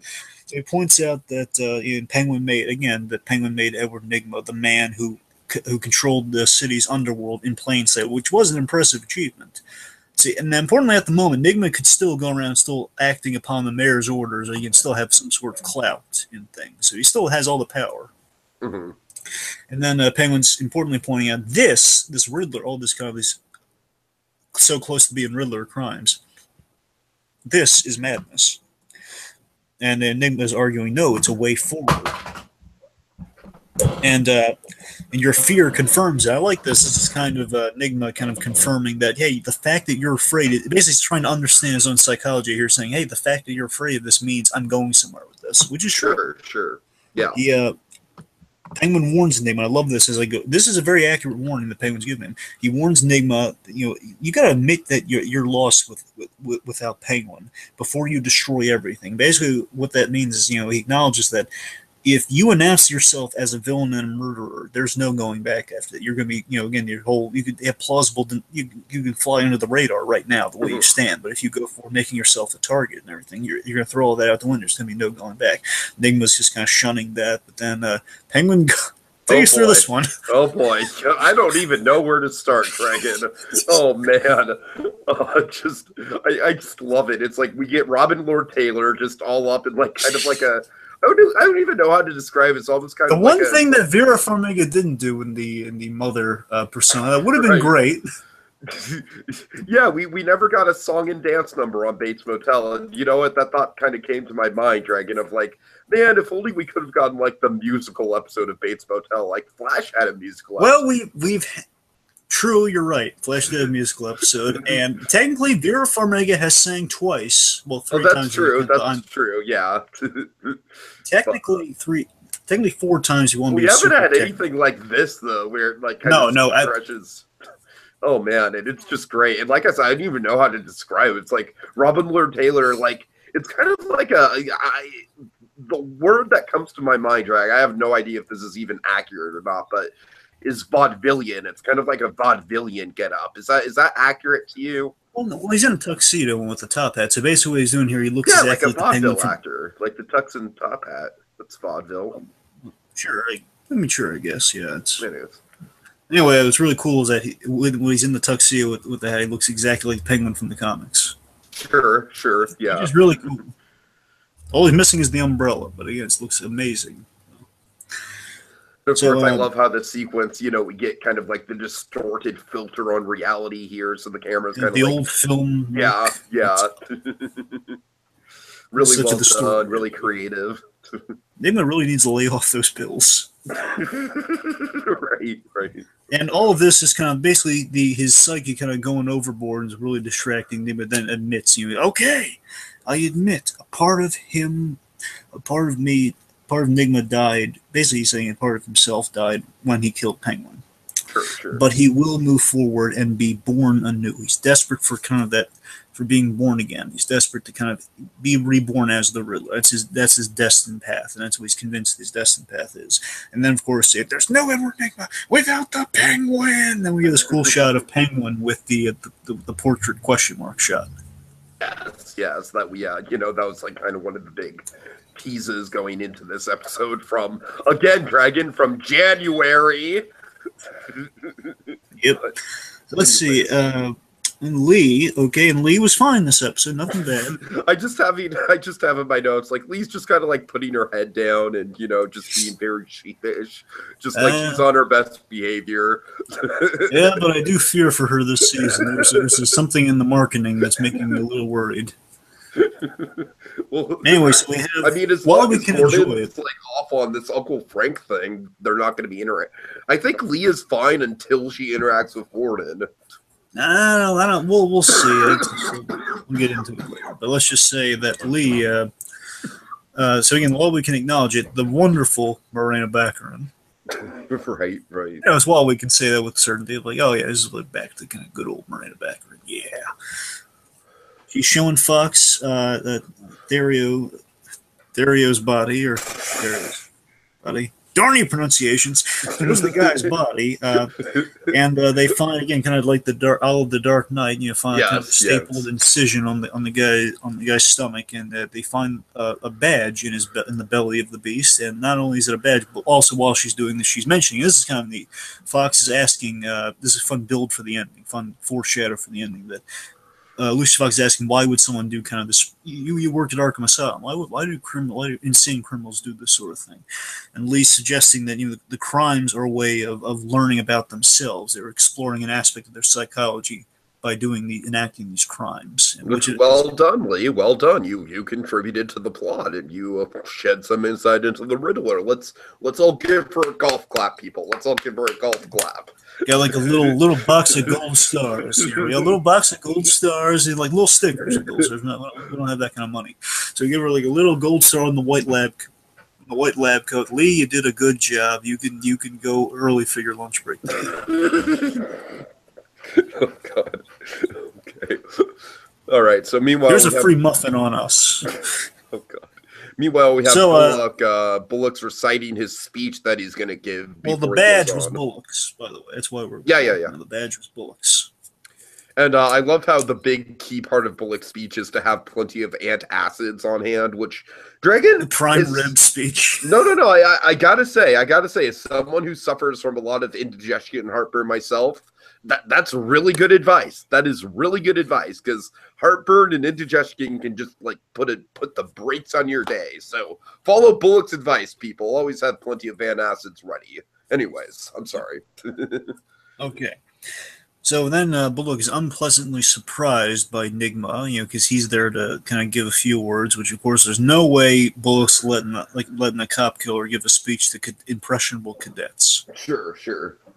So Bullock uh, Bullock gets a call, and then the Nigma interprets it. Okay, that's the call about me. So then he just knocks out Bullock. right, right. Meanwhile, Bruce. Oh boy, is this is this the scene? It's, oh yes, this is the scene. I gotta talk about. Okay, okay. Yay! So, Bruce is looking for Selina. Uh, he runs into Sonny Gilzean. Are you really that excited to see Sonny I-? No, no, no. I'm excited for what follows. I'm super Okay, okay. But uh, yeah, we have uh, Sonny Gilzean, who initially in the past I've been a little iffy on Sonny Gilzean because they had that really forced like Joker laugh scene, which uh, we Oh. God! Right, right. I forgot about that. That was back because we love the idea of the Oh, multiple man. kind of the Joker-like characters, but still, Sonny was always pushing it. There's like he's laughing.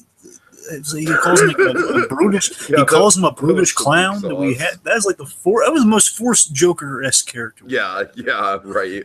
So this like now it seems like they moved past it. So at least I'm. Ex- I just, I just love the idea that, that Gilzean has a nephew, Sonny Gilzean. It's, it's so ridiculous and funny. Sonny Gilzean, ridiculous. Anyway, so Selina, uh, you know, Gilzean's about to mix up with Bruce because last time Bruce kind of got the upper hand. He beat him up as a dude and got really got into it.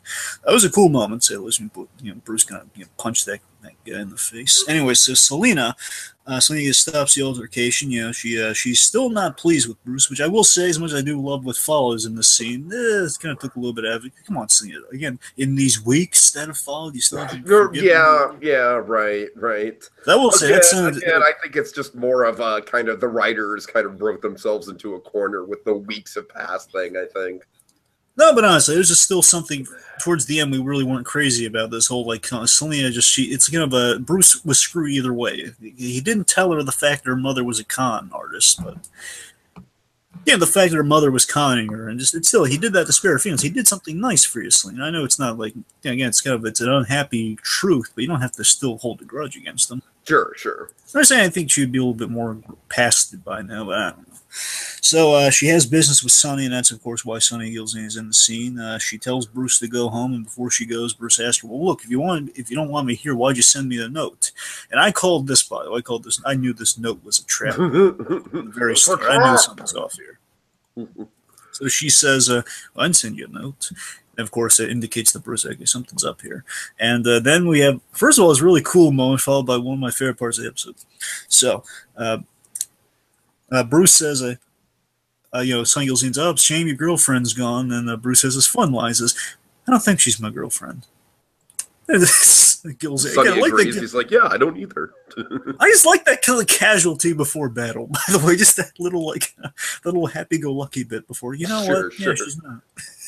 And then of course back to the money. Then he- he's, he's basically trying to mug Bruce. So we know we get this, but oh boy, oh boy, oh boy, I love this part. So uh, this wonderfully shot and shadowed Bruce Wayne fight scene. Like, oh god, it was so. it doesn't good. quite reach the heights of like, let's say, like a Daredevil hallway fight, but it's definitely better than anything we see in Iron Fist. Come on, don't. You're just jumping on the bandwagon for I, that. to be fair, I ha- I still haven't seen. That's what I'm saying. You don't say that. You haven't. You're, you're just you're just jumping on the bandwagon for that. anyways, anyways. Oh, twinge of shame. Life. Oh, twinge of shame. Which is shame. Okay. Twinge of shame. But uh, the point is, the point is, I'm just, I'm trying to make an accurate comparison here. All right. I'm just saying it's. I don't think that I agree with you. It's a very well shot action scene. I don't think it quite measures up to the heights of a Daredevil hallway fight, but I think it is very good. I like how they use the uh the kind of the pseudo silhouette look in the fight scene. Yeah. Again, it's kind of it takes me back to kind of the opening of the animated series. We're in shadow. Yeah, yeah. Those kind of how we kind of shoot far away. He's in shadow. He has kind of the long coat on, so it's kind of cape like. It's really neat. And uh, of course, Bruce at this point is very well trained by Alfred. And he's, he's, we see how far he's come along. He's, he's much more skilled. Yeah, I, you know what? I, I, I will admit the whole like Bruce being trained thing was is something that surprisingly paid off very well throughout the seasons. Yeah, because uh, he took one hit, but then that was just the introductory. Because mm-hmm. we took more Batman against Street Thugs won't be taking any. It's like you know, unless they're like really, unless he's really off his game. So you know, he, t- takes one hit, but then he doesn't take a second hit. He just, he takes him down. He elbows he elbows Sonny, and then he's, he's punching the rest of him. And again, in silhouette, it looks in shadow it looks great. It's really cool scene. I was like pumping my fist in the air. Yeah, that's my guy. That's that's that's the man who will be Bat. Yes. Oh, uh, okay. I was I love that part. So, all right. So uh, we have Nigma. He's kind of in the full Riddler like suit at this point, which is very well, cool. not the full Riddler suit. That's you're right. You're right. They keep building it. They keep building it, but he is. Uh, it's like eighty percent Riddler. Green. Yeah, yeah. And uh, he said uh, he's kind of like making an obvious, like, oh, Captain Bullock's tied up at the moment. Wink. Which is funny. Uh, right, so, so, it's really cool that right here, this is sort of his before he has a name. This is his villain introductions. He's making a grand entrance of a supervillain. Oh, sure, sure. Uh, you know, he questioned, he riddles the cadets, uh, which goes like, "Light as a feather, yet no man can hold it long." Uh, and uh, I love this. He has fun little lines. Oh, no future commissioners here. right, right. Well, I, I just might have enjoyed that more than others, but yeah, it was kind of a cute line. I like that. Uh, then uh, he uh, he throws like a little uh, a gas bomb at him. A few mm-hmm. kind of gas canisters at him, and your breath. Answer to the riddle. So Lucius.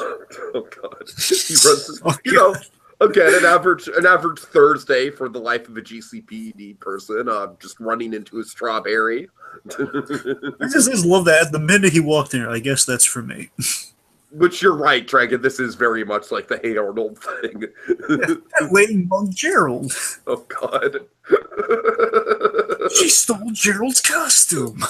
Well, to be fair, they did ditch the costumes in the dumpster. I think. Right. All right. True. that lady's been dumpster diving. well, more specifically, whatever her uh, her messenger company has been searching for the They've, they've been shopping at a discount. Okay, so I, I love this kind of like dark '60s Batman trap here, Dragon. Uh, Harvey. Oh, by the way, yeah. T- tell me you caught this. We had the '60s ringtone. I did not catch that. No. Well, it was awesome. What they did is for the for Riddler's ringtone. This is great. The, the Riddler of all characters. Was, they had the transition. You da. Oh, okay. okay. That was his ringtone. It was the. It was like the. okay, so uh, I really like this uh, this trap, and I like how it's not necessarily a death trap, but it kind of just plays on your psychological fears. Like looks about like five stories up or so on a staircase and he's yeah. being dangled over uh, on a chair and it's like I like how it's like if he falls like he's not necessarily going to die but it's going to be very painful and it's just the dangling over the edge that is more the torture more than anything else. I think it's a very clever death trap in that way. Well, here's here's the parameters. Here's here's essentially what's being said. So again, so you know, he, they realize you know Fox knows on the phone that it's new because who else calls me Foxy, and the Enigma basically Enigma says he's poisoned. He says he claims that he's poisoned the room full of cadets, and around Bullock's neck is is the antidote. And uh, essentially, the you know he wants him to play his little game, and he goes to the stairwell. Which, by the way, I love the I love the the, the location of the stairwell because I love that we can have Enigma on a higher level, and we can have Fox like right above him on like one level lower. It's great staging, right? Great, right. Great yeah, location. yeah, you're right. For all this stuff to go down on. Uh, let's see. So then, uh, essentially, the rules are very simple. It's basically uh, th- uh three ropes, three riddles. Mm-hmm. Three ropes, three riddles. You get at least one right, you win. Can't get any fairer than that, as as he says. Basically, you get one right, you still pass. So again, it's the ultimate kind of kind of fair thing. And as we're going to find out later on, the reason. Uh, you know, he's not entirely. Yeah, the reason it's why it's not like an instant death for Bullock is he's not exactly trying to. Uh, believe me, I still think Bullock would die if he fell it. Like, it's not a guarantee. It's most likely commodity. I don't want to argue the semantics of it, but like yeah. I said, I can you agree that I uh, you like the psychology of like having him dangled over and like playing on Bullock's fear of heights? I thought that was True. kind of clever. True. Let's see. So uh, yeah, you're right. That's good. I just kind of like the the kick. I love how that looks. Though. I just love how we have Bullock kind of teetering this whole scene, panicking as as you know Lucius remo- tells him to remove the the, uh, right, the right. tape. So Bullock, after every rope is cut, he's just he's panicking, saying this, one, this wonderful, fearful gibberish. Oh god. Well, not gibberish, but he was just saying these wonderfully kind of fearful. Oh god, I gotta go. So he was so so terrified. It's kind of like it's like the kick from Inception. You know, like that that sense of falling when you like it is. chair's, Yeah, like, you're right. off- You're right. Yeah. like two legs are off the ground. That sort of feel, but you're it's like a greater fall. Okay. so, So, uh, riddle yeah. number one: uh, I can fill a room or just one heart. Others have me, but I cannot be shared. Uh, So- so here's the here's I'm sorry, is that it? yeah, yeah. So yes, the uh, the uh, the answer. Now here's the interesting part. I want to analyze this for a moment. Is that all of these answers, by the way, are kind of tied into a theme, possibly, which I'll get to at the very end after we go through all three. But uh, the first, the answer to the first one, Fox says love, which I believe is the correct answer. I couldn't find this one, the answer to this one. I was trying to double check, and this one I could not find. But I believe love was the actual answer. The the answer that Nigma wants that Yeah. he's looking for is loneliness. Yeah, he says loneliness, which I still don't think makes sense. But uh, you know, it's loneliness filling a room. But I don't know. I think it means lonely. But that, that, that, that doesn't matter quite. So I, I still think like he's just the, the way uh, Chris Chalk, the actor, portrays Lucius Fox, the way he looks like kind of side. like, I think he knows I got that one right. What am I dealing with here? Sure, sure. I don't know because I think again because then Enigma's baffled how how Fox would get that wrong. So I don't know. That one's that one's kind of one to read into, I guess. But if you folks out there can find the answer and like kind of give us the official ruling, it'd be appreciated. But uh, either way, loneliness, love, it might be one of kind of what we run to with the second rule, which goes a little something like. Uh, I can be a member of a group, but can never blend in. Which uh, Lucius's answer is snowflake. Yeah, yeah. uh, Nigma's answer of choice is individual. And I love that Fox argues that you know Snowflake is an acceptable answer because the answer is also individual. Well, of course, uh, let's just point out Corey Michael Smith just absolutely going out of his way, just pissed as hell. Like, you know, like we're talking like we're talking like blood vein on his forehead, just like no, no. The way he just like yells no, and then then Bullock says something. you have to give my answer. Yeah, because you don't. I don't think you don't understand the rules here. You know, they basically Nigma Nigma makes rules. You have to guess my answer. So then uh, he cuts the second room, much the Bullock's fear. He says, "Oh, Mama, Oh, I'm God. sorry. I'm, oh, Mama, I'm sorry. Oh, God." Somebody starts with "Oh, Mama." oh god. kind of like a Johnny Bravo kind of fear before he- it's kind of like Johnny Bravo exclaiming and playing. Anyway, so number uh, real uh okay before real number three, he starts to lose his cool. He's starting to doubt himself, and in a way, he's thinking that Penguin may have been right that uh, you know, this is not not the way to go down. You know, he's pointing the gun at Fox's head.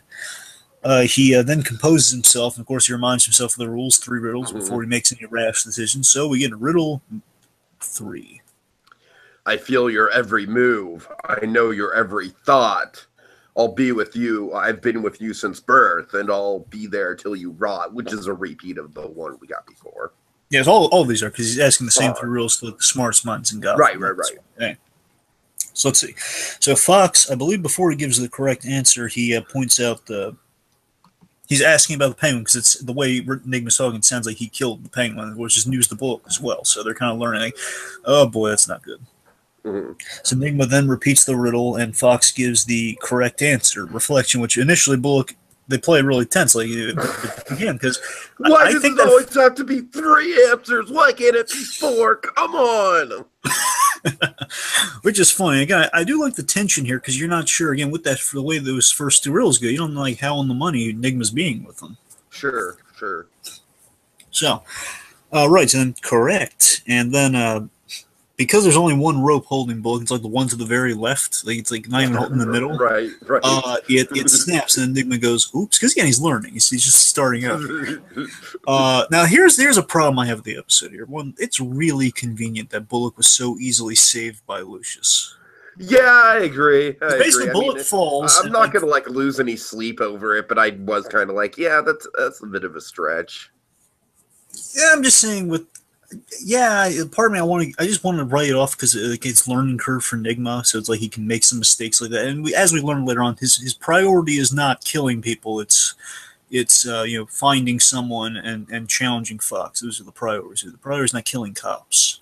Uh, So it's it's debatable how how much he wanted Bullock dead, but it's it, it, it's kind of hard to tell. But the fact is, like, he just falls from one flight. Just Lucius Fox, thankfully, has been at the gym lately, working at the gym lately. So he's, he's able to pull, he was able to catch Bullock and pull him up in a chair from one flight down. He had to act really fast. So it's, I don't know, bit of a buy for me.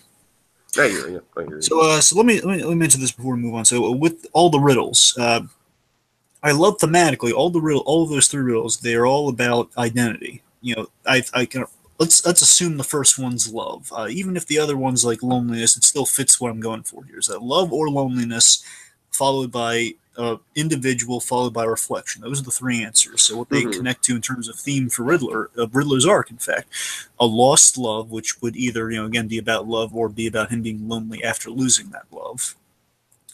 Uh, moving forward, which of course is being individual. You individualize yourself from the Penguin. And then lastly, finding a new match, finding a new mentor, finding your your enemy. Right, right. Reflection, someone who reflects you, reflects your intelligence. So I'm saying I, I like that all the rules were not only just like to, to trick people up, they were to find the ultimate enemy or kind of find the ultimate mind. That's kind of like Nigma's own sort of like psychology coming out within the answers. Yeah, it's bit. like again, which is what Lee kind of told, told us. sure, sure. Okay, meanwhile, ah yes, so Okay, Bruce. so, uh, yeah, Bruce comes upon Doppel Bruce in the alley. He was just kind of wiping some blood. away. Speaking of reflection, he's he's walking down the alley. He's, right, he's, uh, right. he's uh finally he's bleeding from that one hit he took in the Gilzean and the Gilzean debacle. So he's uh, wiping the blood from his face, and uh, in the broken mirror we have uh, Doppel Bruce revealed, which of course the theme of reflection again, kind of Oh yeah, oh yeah. the dark reflection of Bruce Wayne, and kind of the reflection that Enigma's been looking for the episode. Uh, we have the I love this Doppel Bruce's theme. I love it. It sounds directly like a Danny Elfman cue. It sounds like You're right. It kind of does. it yeah. sounds exactly like a like a cue. It sounds like honestly, it sounds kind of like the Catwoman cue from uh, from Batman Returns. Yeah, I can see it. Also, kind of Men in Black too, if you want to be specific. But uh, anyway, so uh, of course he's dressed like Bruce, and he it's a Bruce. Sorry, Bruce says the Doppel Bruce, and you sent the note, didn't you? right, right. So yeah, Doppel Bruce is here to replace, and that's why he's dressed exactly like him. And then we have this line. This line. Oh, TK, I was so happy with this line because it feels directly pulled from the book. Uh, Yes. It's like looking into a mirror, which of course is like, yeah, Bruce, this is the other side of the mirror when he slams him right into the building, remember?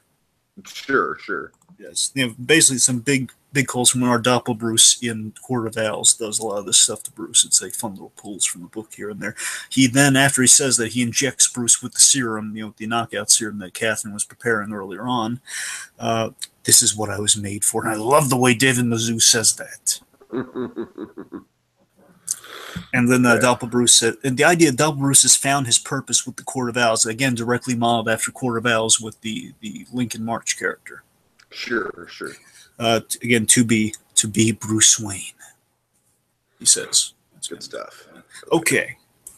Uh, let's see. Gordon's kind of grilling Uncle Frank about uh, about the lies and whatnot. You know, like you know, he's questioning how, like, how is all this possibly in the court? Like, you know, why now?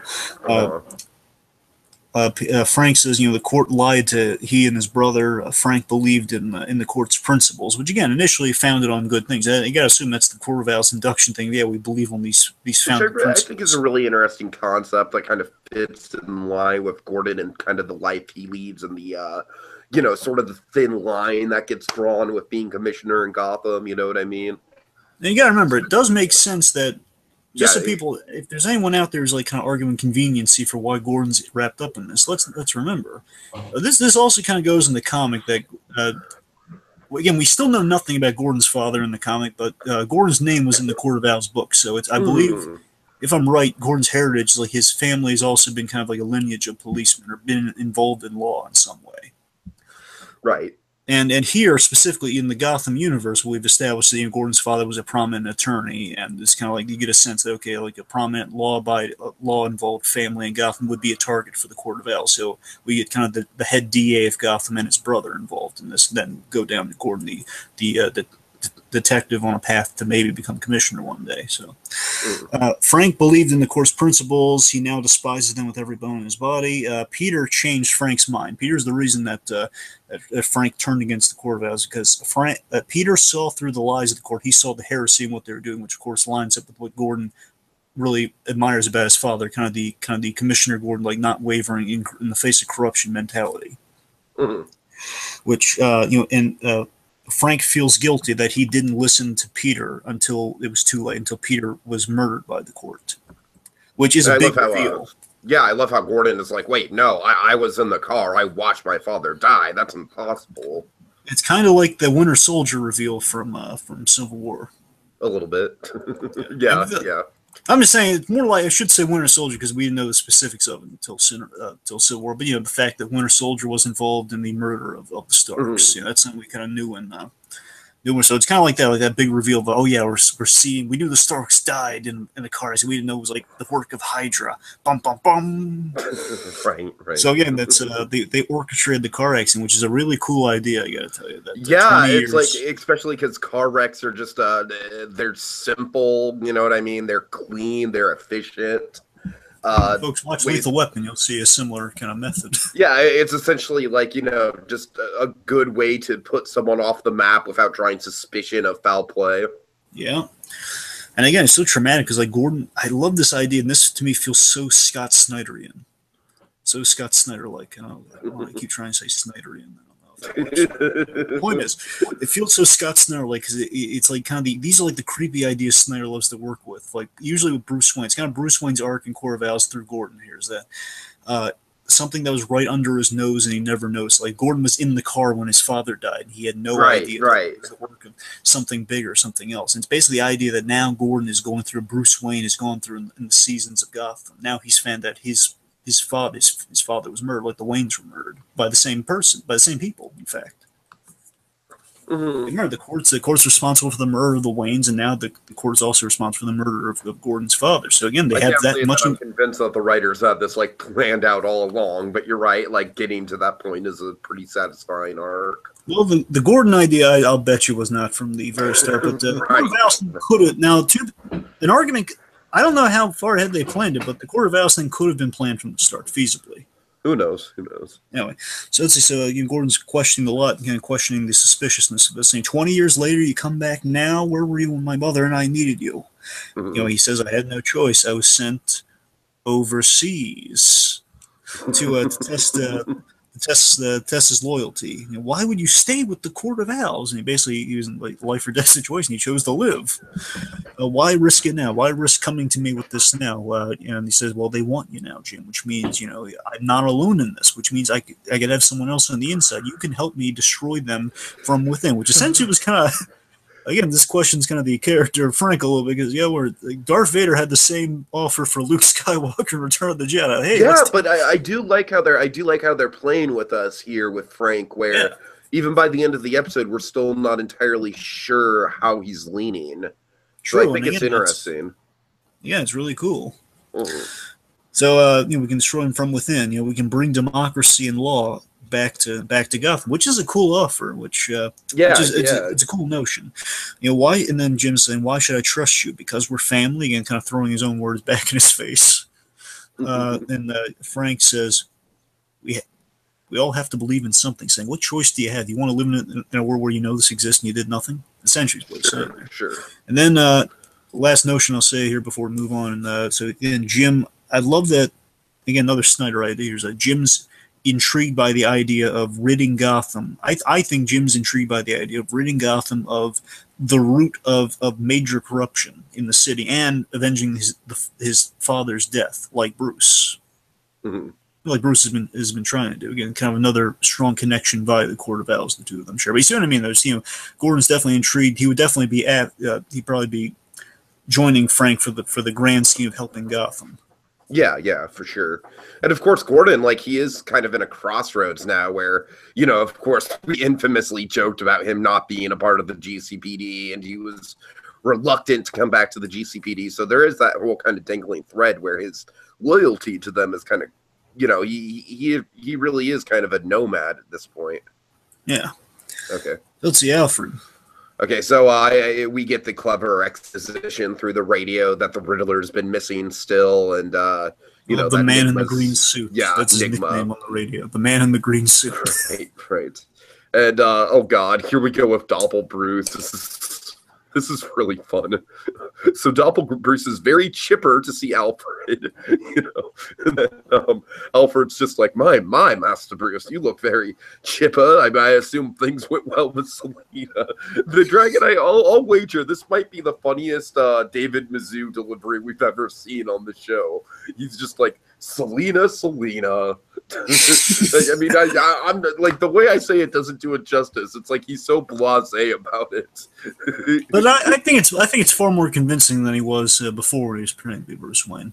yeah, I think so too. It's- He's a little too Selina, chipper, but yeah, he's a little you know he's a little I mean, more I still think it's it's chipper enough that I think Alfred's gonna suspect Yeah. something's up, but it's still yeah, it's it's kind of the leave it to Beaver like happy go lucky person. You know, it's like Ooh, Oh, my- pie sounds delicious. so that's what I think. Now here's my plot point here. As I'm talking here, I think the Oh. pie tips Alfred off because there's a little music cue that plays. I'm serious. When I've watched it twice now, and this this happened the second time too. It's like when the pie is mentioned. I knew I knew I heard this the first time. When the pie is mentioned, there's a little dramatic music cue play, that plays like a little twinge of like, Oh. ah. And I'm convinced that I'm still convinced that Alfred, like, because Bruce wasn't thrilled about the pie. He says, "Well, you know, Master right, Bruce, if you, right. I, am really hoping that Alfred's like pretend playing along with this with Doppel Bruce because he knows the pie gave it away."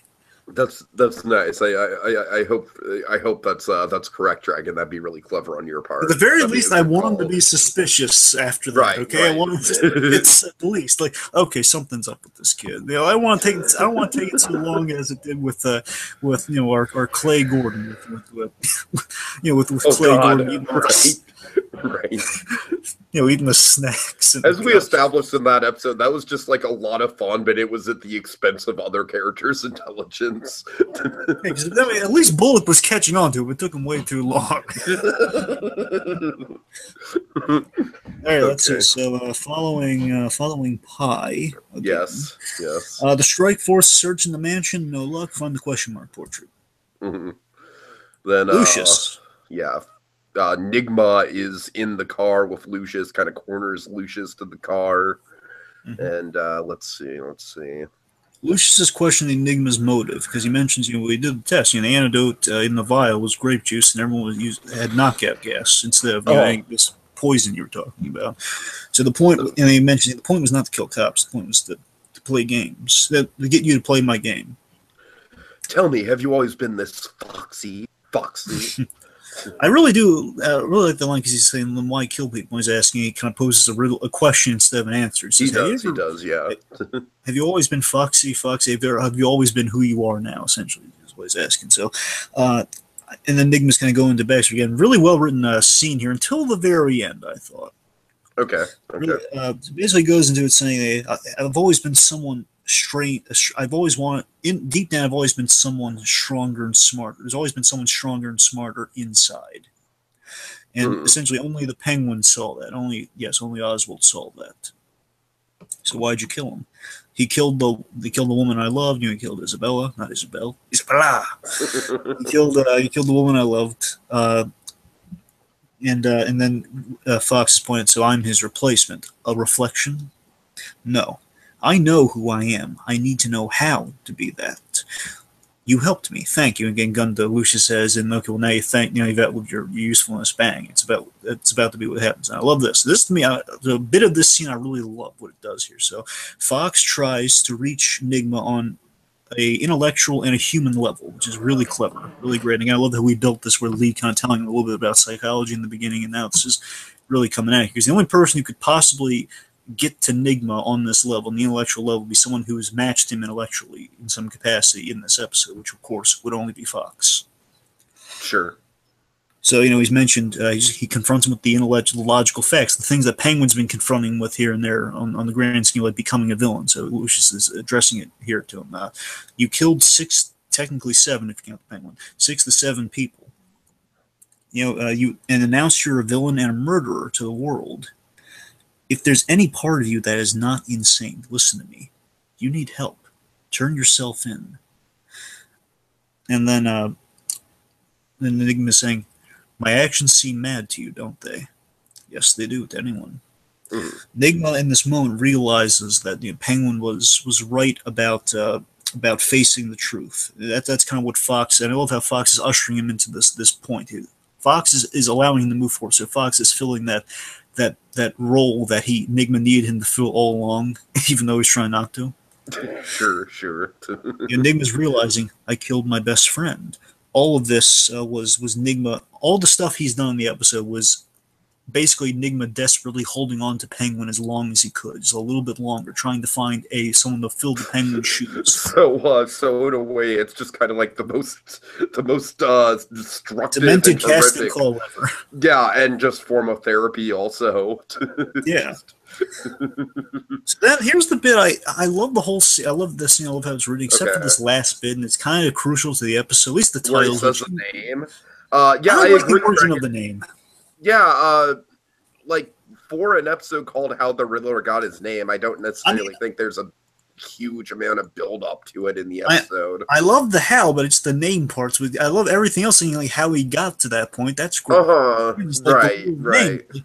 They, I, I, this could have been written so many other different ways, like how he got the name. Like, it, look at Batman Forever, for example. It's something I rarely would say on this show, but look at Batman Forever. For example. you know, the whole like, you know, the, he's going through all the, the funny names. You know, the Puzzler, the the, the, sure the, sure the Riddler. You know, kind of he happens upon this. So, who are you? Uh, Lucius questions, "Who are you now?" He says, "Oh," and this like a cool build up for it, but again, not founded on anything really. He says, "Oh, come on, Foxy."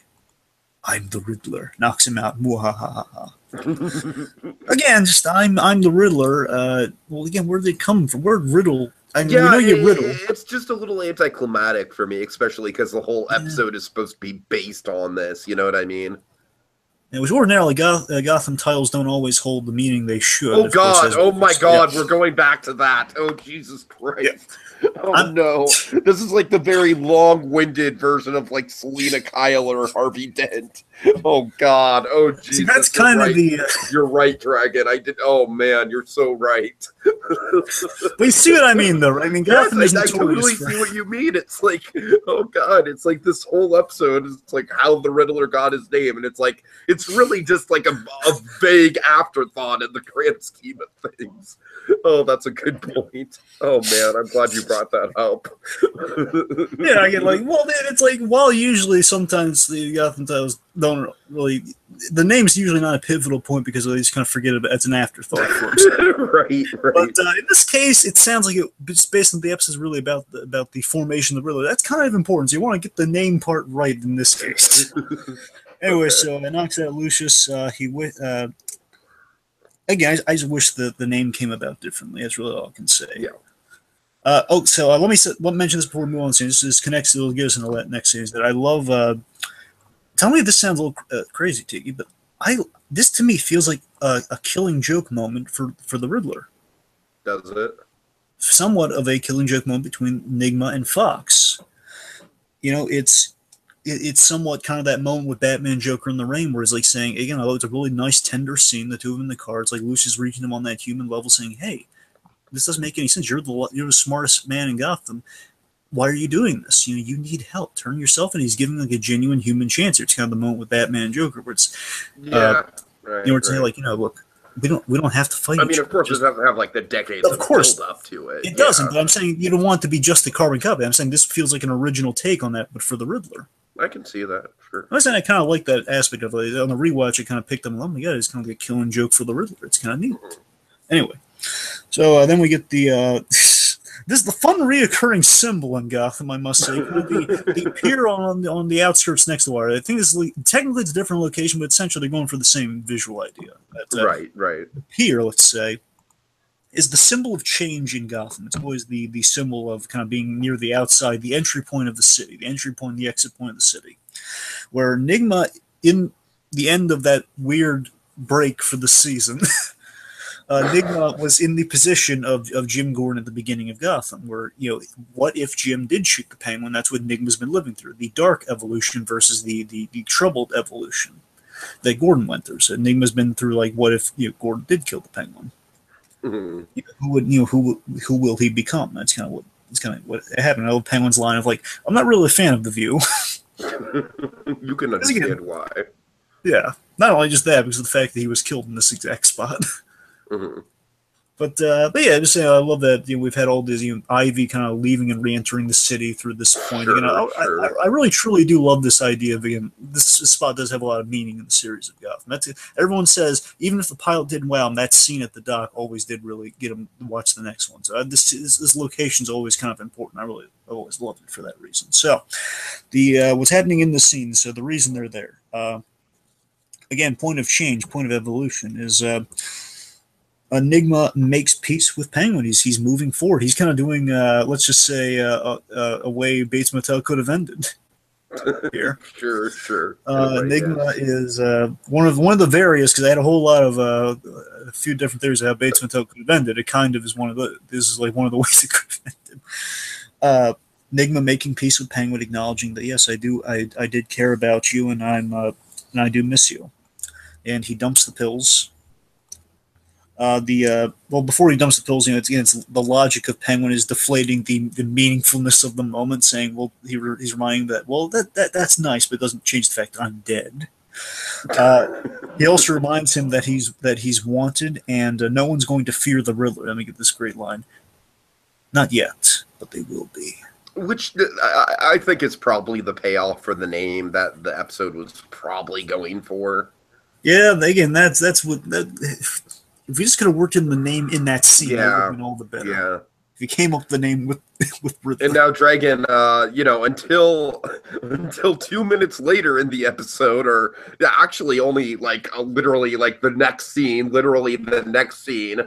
I don't know. uh, Do you think it would have been more effective if we had if we would have had at least like one scene between like you know Ed tosses the pills and we don't see uh Penguin and maybe it's like oh okay is that like Robin Lord Taylor's swan swan song on the show? Nope.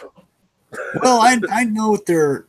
I think I know what they're going for here. So it's it's kind of like again, as one is doing this, then we have the re, the harsh reality setting in on, on the other. But you're right, though. It's kind of a, you're right, though. It is kind of a beautiful swan song in some way. Again, like they kind of pull two swan songs out of their like like if I were row. them, I'd maybe like swap the stuff with uh you know with Jim and Frank. Like this is just a real nitpick, you know, like where uh you know like Gordon finds the picture and Frank with the core. I would switch that and then have the Oswald stuff, or maybe have the Oswald stuff right at the end. I don't know. I, I'm just saying like.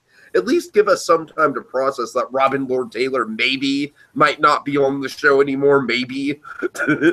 That's I mean that I, I see I see your point, but I kind of like the juxtaposition, I guess. But yeah, you're right though. It is kind of like a, it, it'd be nice to kind of absorb it for, for, for what it is. Right, It dumps, right. dumps the pills. We hear kind of the somber penguin theme playing as he dumps the pills, and that's kind of our goodbye penguin. Then he uh, then he goodbye Oswald. He walks. He dons the hat and he walks away, Mhm. accepting his destiny as the Riddler. And then we have the uh, the harsh reality that uh, I knew this was coming. I knew. I think yeah. you, you had. I told you. Unfortunately, it didn't play out the way I wanted to either. But uh, I, I was still hoping the Court of Owls was going to be responsible for this. right, right. Again, they said they had plans for him. I wanted to know what those plans were. Darn it.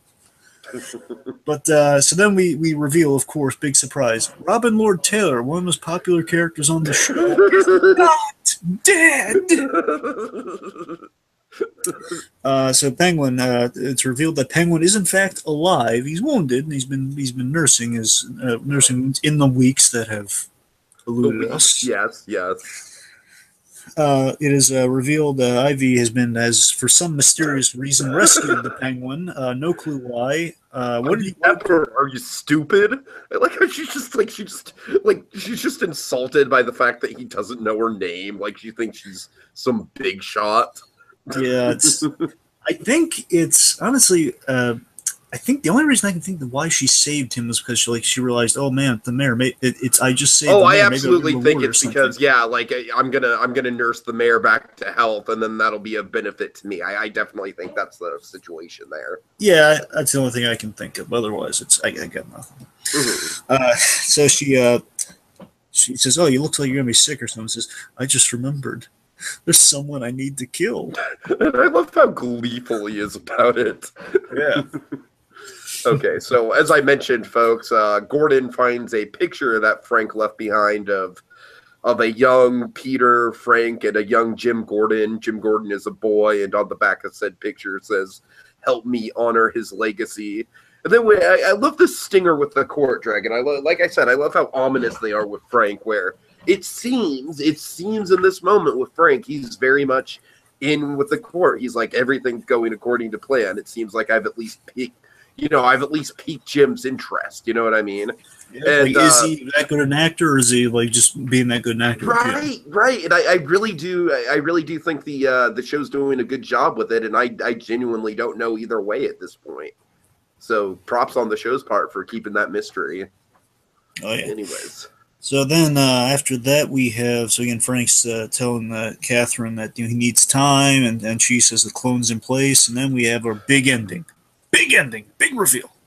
yes, we have uh, A lot, of, a lot of people are excited about this. Yeah, now Dragon, I, I hope this is what I think it is. I'll just say that I know much. it. I I for the fact I know what it is, and Tiki may or may not know. So we're about to Okay. find out. Well, uh, I I hope I hope that it's the labyrinth. I, I let's just say I I I.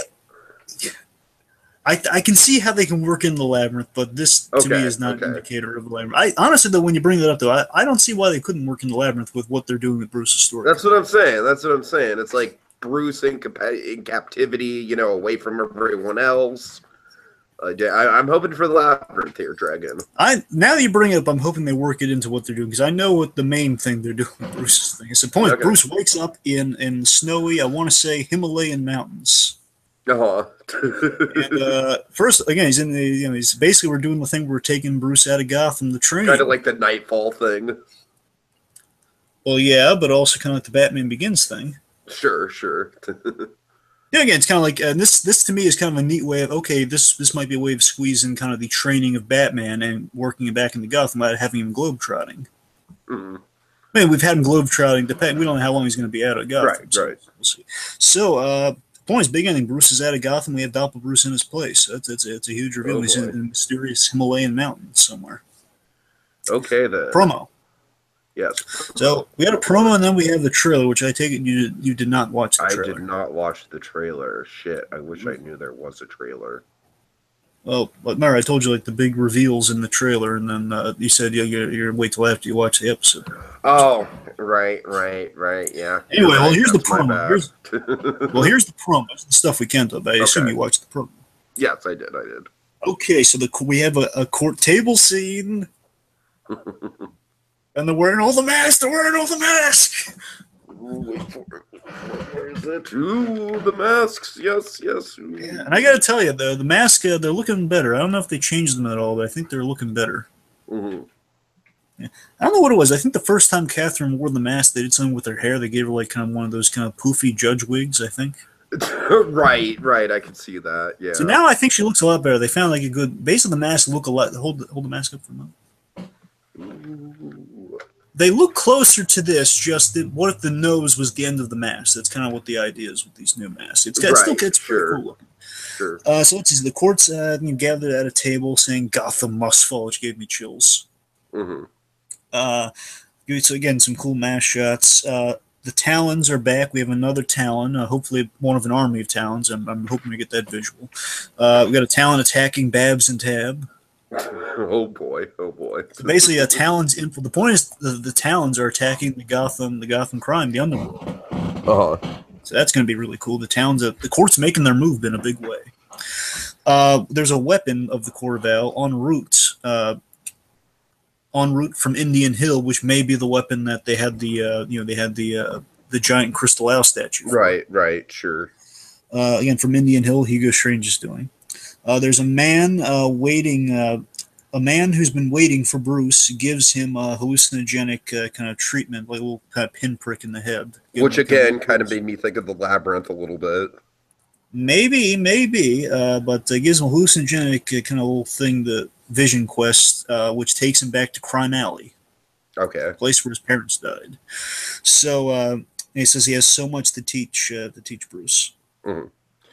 So those, that's the crux of what we got going on in the next episode. So we only have uh, two titles to speculate on so far out of the remaining episodes. Track. We only Well- have uh, Would you like me to tell you what the, the cool stuff we do see in the trailer, or, or what? I guess, yeah, sure, really quick. Okay, we got Selina Kyle in a Batman Returns homaging shot. She's like falling through the window shot. Okay. Yeah, but you know when Selina you know, in the movie in Batman Returns yeah. when she falls, you know she's revived by cats We're doing that. Uh, we have Ivy, Freeze, and Firefly all gathered around. Ooh, okay. Uh, Barnes is escaping in his kind of a neat looking black suit. Gotta be honest, not really looking forward to that episode. Just We'll kind of see. feels like a dangling plot thread that we need to wrap up just for the sake of wrapping it up. Anyways, I do have news you're really gonna like. okay. Uh, Hugo Strange is coming back, Thank God it's been too long. and uh, and Fish Mooney. They're both uh, both returning. Mhm. Uh, we got the Mad Hatter coming back. Looking forward to that.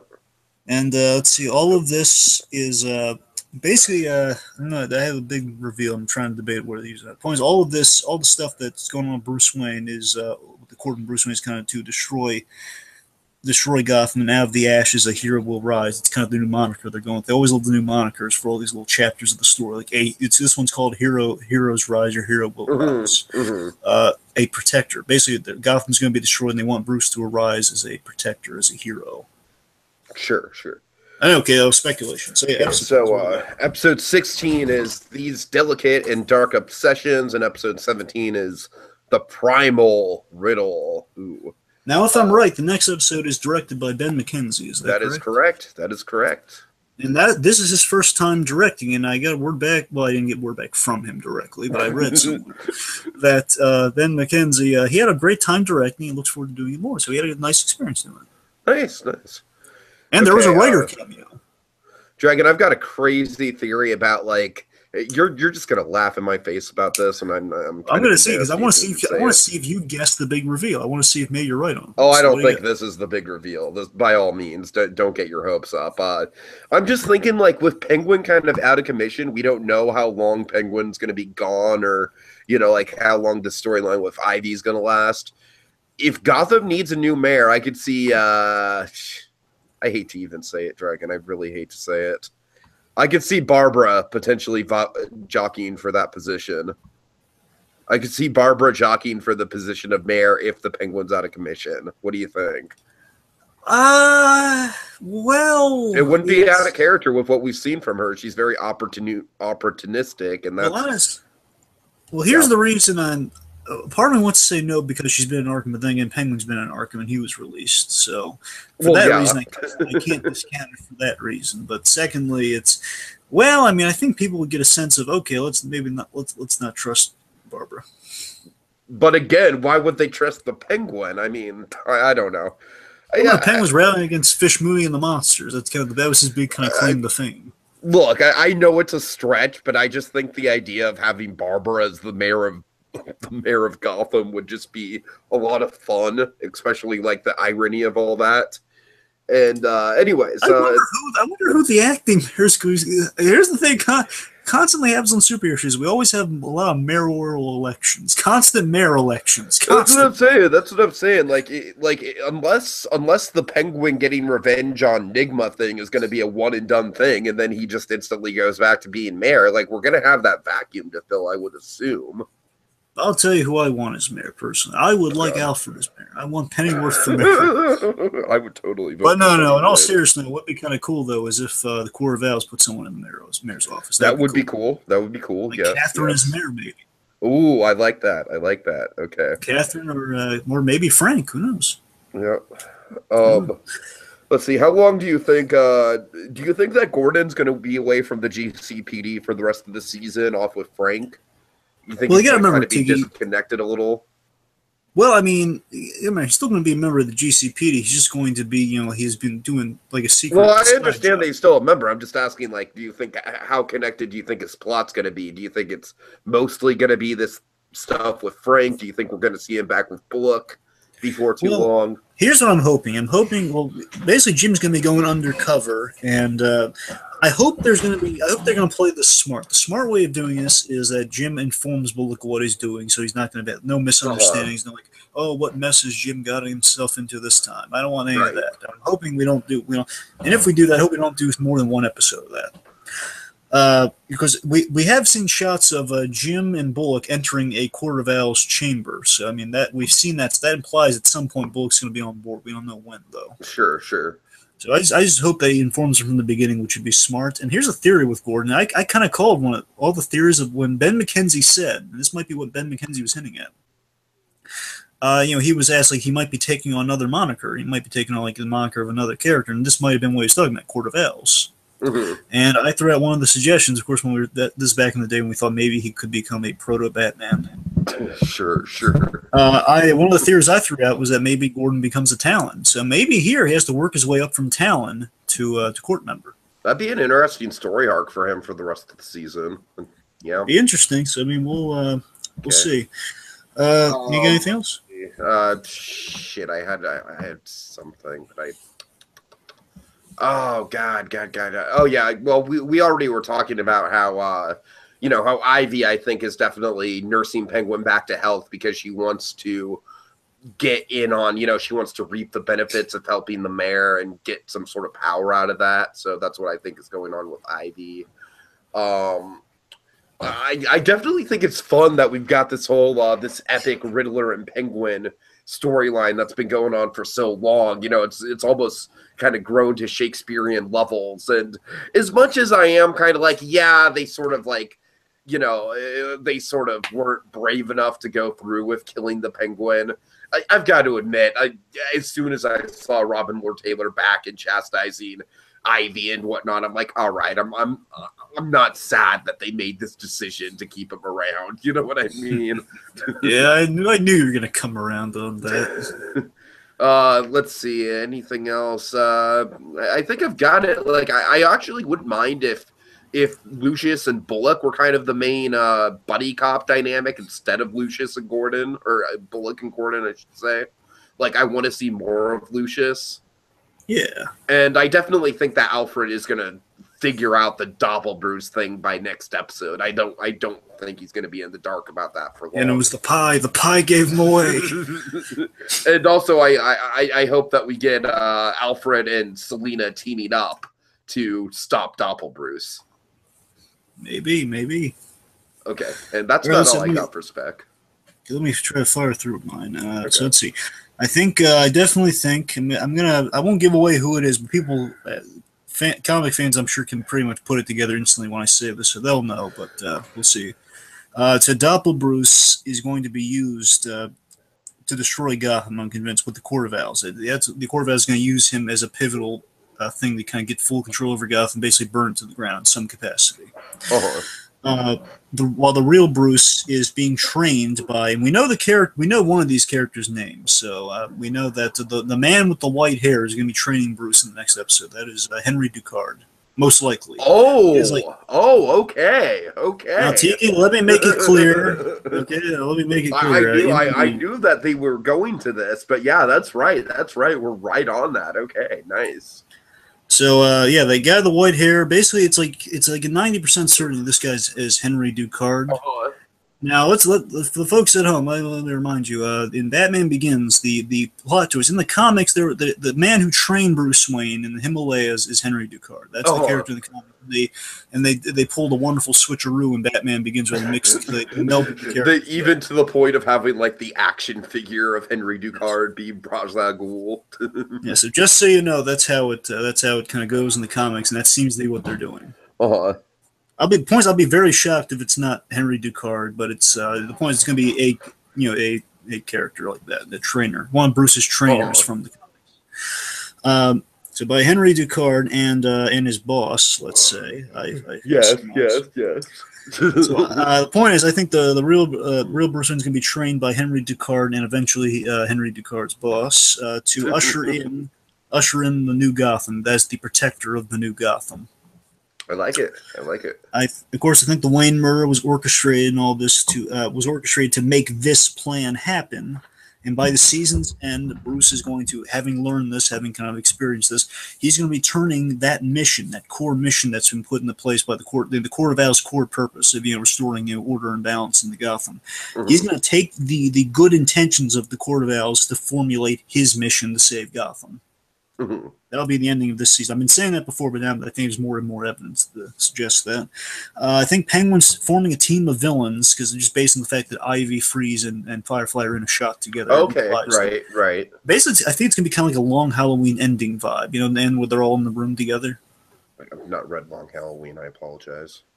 Yeah, well, the point like the one, the, the cool shower, Two Face, and the whole lot of villains like in. A, in I, I mean, I'll take your word for it. I don't know directly what you're talking about, but Anyway, uh, so I think the uh, I think Strange is going to be pivotal in taking the court down.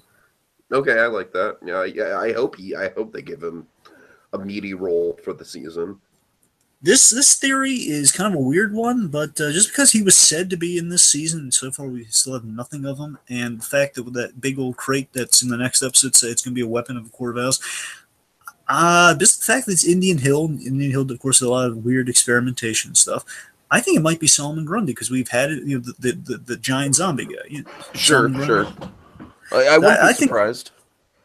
Yeah, I think that might be him. Just given like we haven't seen him yet, and they said he was supposed to be in the season. They did, they did the same thing with the Mad Hatter last season, though. We were supposed to get Mad Oh, Hatter in God, season Right, right. two, but we didn't get him until three. So I don't know. Maybe they're saving Grundy for four. Maybe that's like a pattern with the villains. And last thing I have is the broad spectrum how I think the arcs of the season is going to go going forward. I think it's going to be we're going to start with Court for a couple episodes, then we're going to go Mooney and Barnes Uh huh.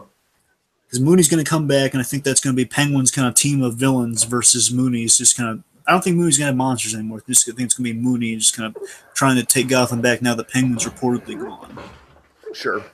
And uh, then we're going to go from that to like the last kind of third here, where it's going to be the Court of Owls, uh, the Court of Owls, and the Big Boss that we've learned. Yeah, I think the big boss, the big revealed boss, is going to be the. That it's not just going to be the court again; it's going to be the court, but now knowing who the head honcho is. Sure. Sure. And uh, then at the very, very end, like kind of the way we end the season, it's probably like a little cliffhanger, like a little post credits tease at Jerome for next season. At Jerome? Yeah, I just say I think it strikes me that you know, Jerome's I like don't a, necessarily think they'd end the season on Jerome with all the Court of Owls stuff, and I don't know. I mean, Well, no, I, I don't mean it's going to be like we're going to like. I don't mean a cliffhanger in that sense. I just mean like at the end where we have like like the end of the first season, like the tease of the Batcave. I think it's going to a tease to Batman, which might be Jerome. Okay, okay. I'm just saying the fact that we put him in Arkham and the fact that Jerome's always like a way to get viewers, and if they wanted to ensure a fourth season, they would show Jerome. all right, Okay. That's a theory. It- yeah. all right. So, final remember- thoughts. Uh, yeah. Yes. Yes. Final thoughts. I, no, I saved you there. I caught you. okay, so final thoughts on my end. Uh, honestly, the only thing that I kind of was let down with the, by this episode, Dragon, is what I agree with you. I think the name thing was a little underwhelming and a little underbaked. But uh, besides that, I thought this episode was a lot of fun. Um, I, the Gordon stuff is a little slow for me so far, so we'll see how that picks up. But other than that, I love, of course, I love the Penguin and uh, Enigma stuff and uh, the the Doppelbruce stuff. I can already tell is going to be great, and and of course Lucius and Bullock were kind of a big highlight of the episode. I hope they have more scenes together. And overall, it's just you know it's it's good to be back in spite of the somewhat messy way in which they got us back. You know, I'm having fun with it. Uh, on the whole, I uh, you know, I like this one a lot better on the rewatch. I because again, some of the Riddler stuff it was a little clunky on the first watch, but again, it all kind of came into focus and kind of Mhm. appreciated the cleverness and the, and the writing a lot more on the rewatch. Again, I still have issues with a few things I still can't get over, like the name and like the whole Bullock chair catch.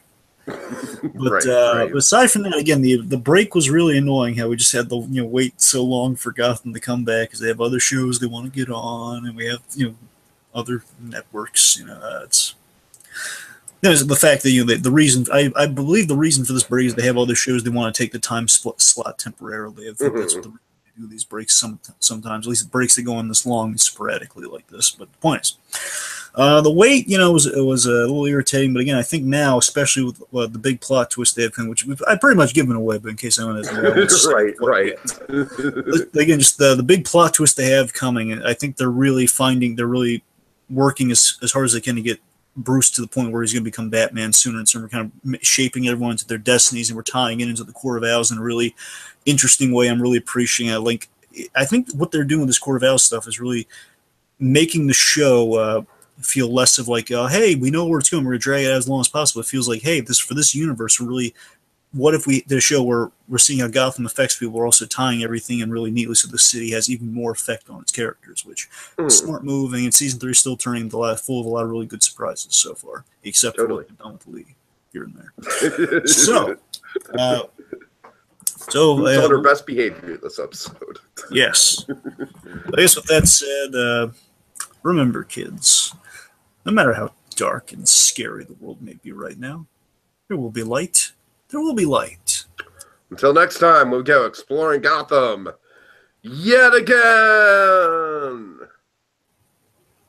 Oh God, why are there only why are there always three answers? Why can't there be four? Come on! Where's the pie?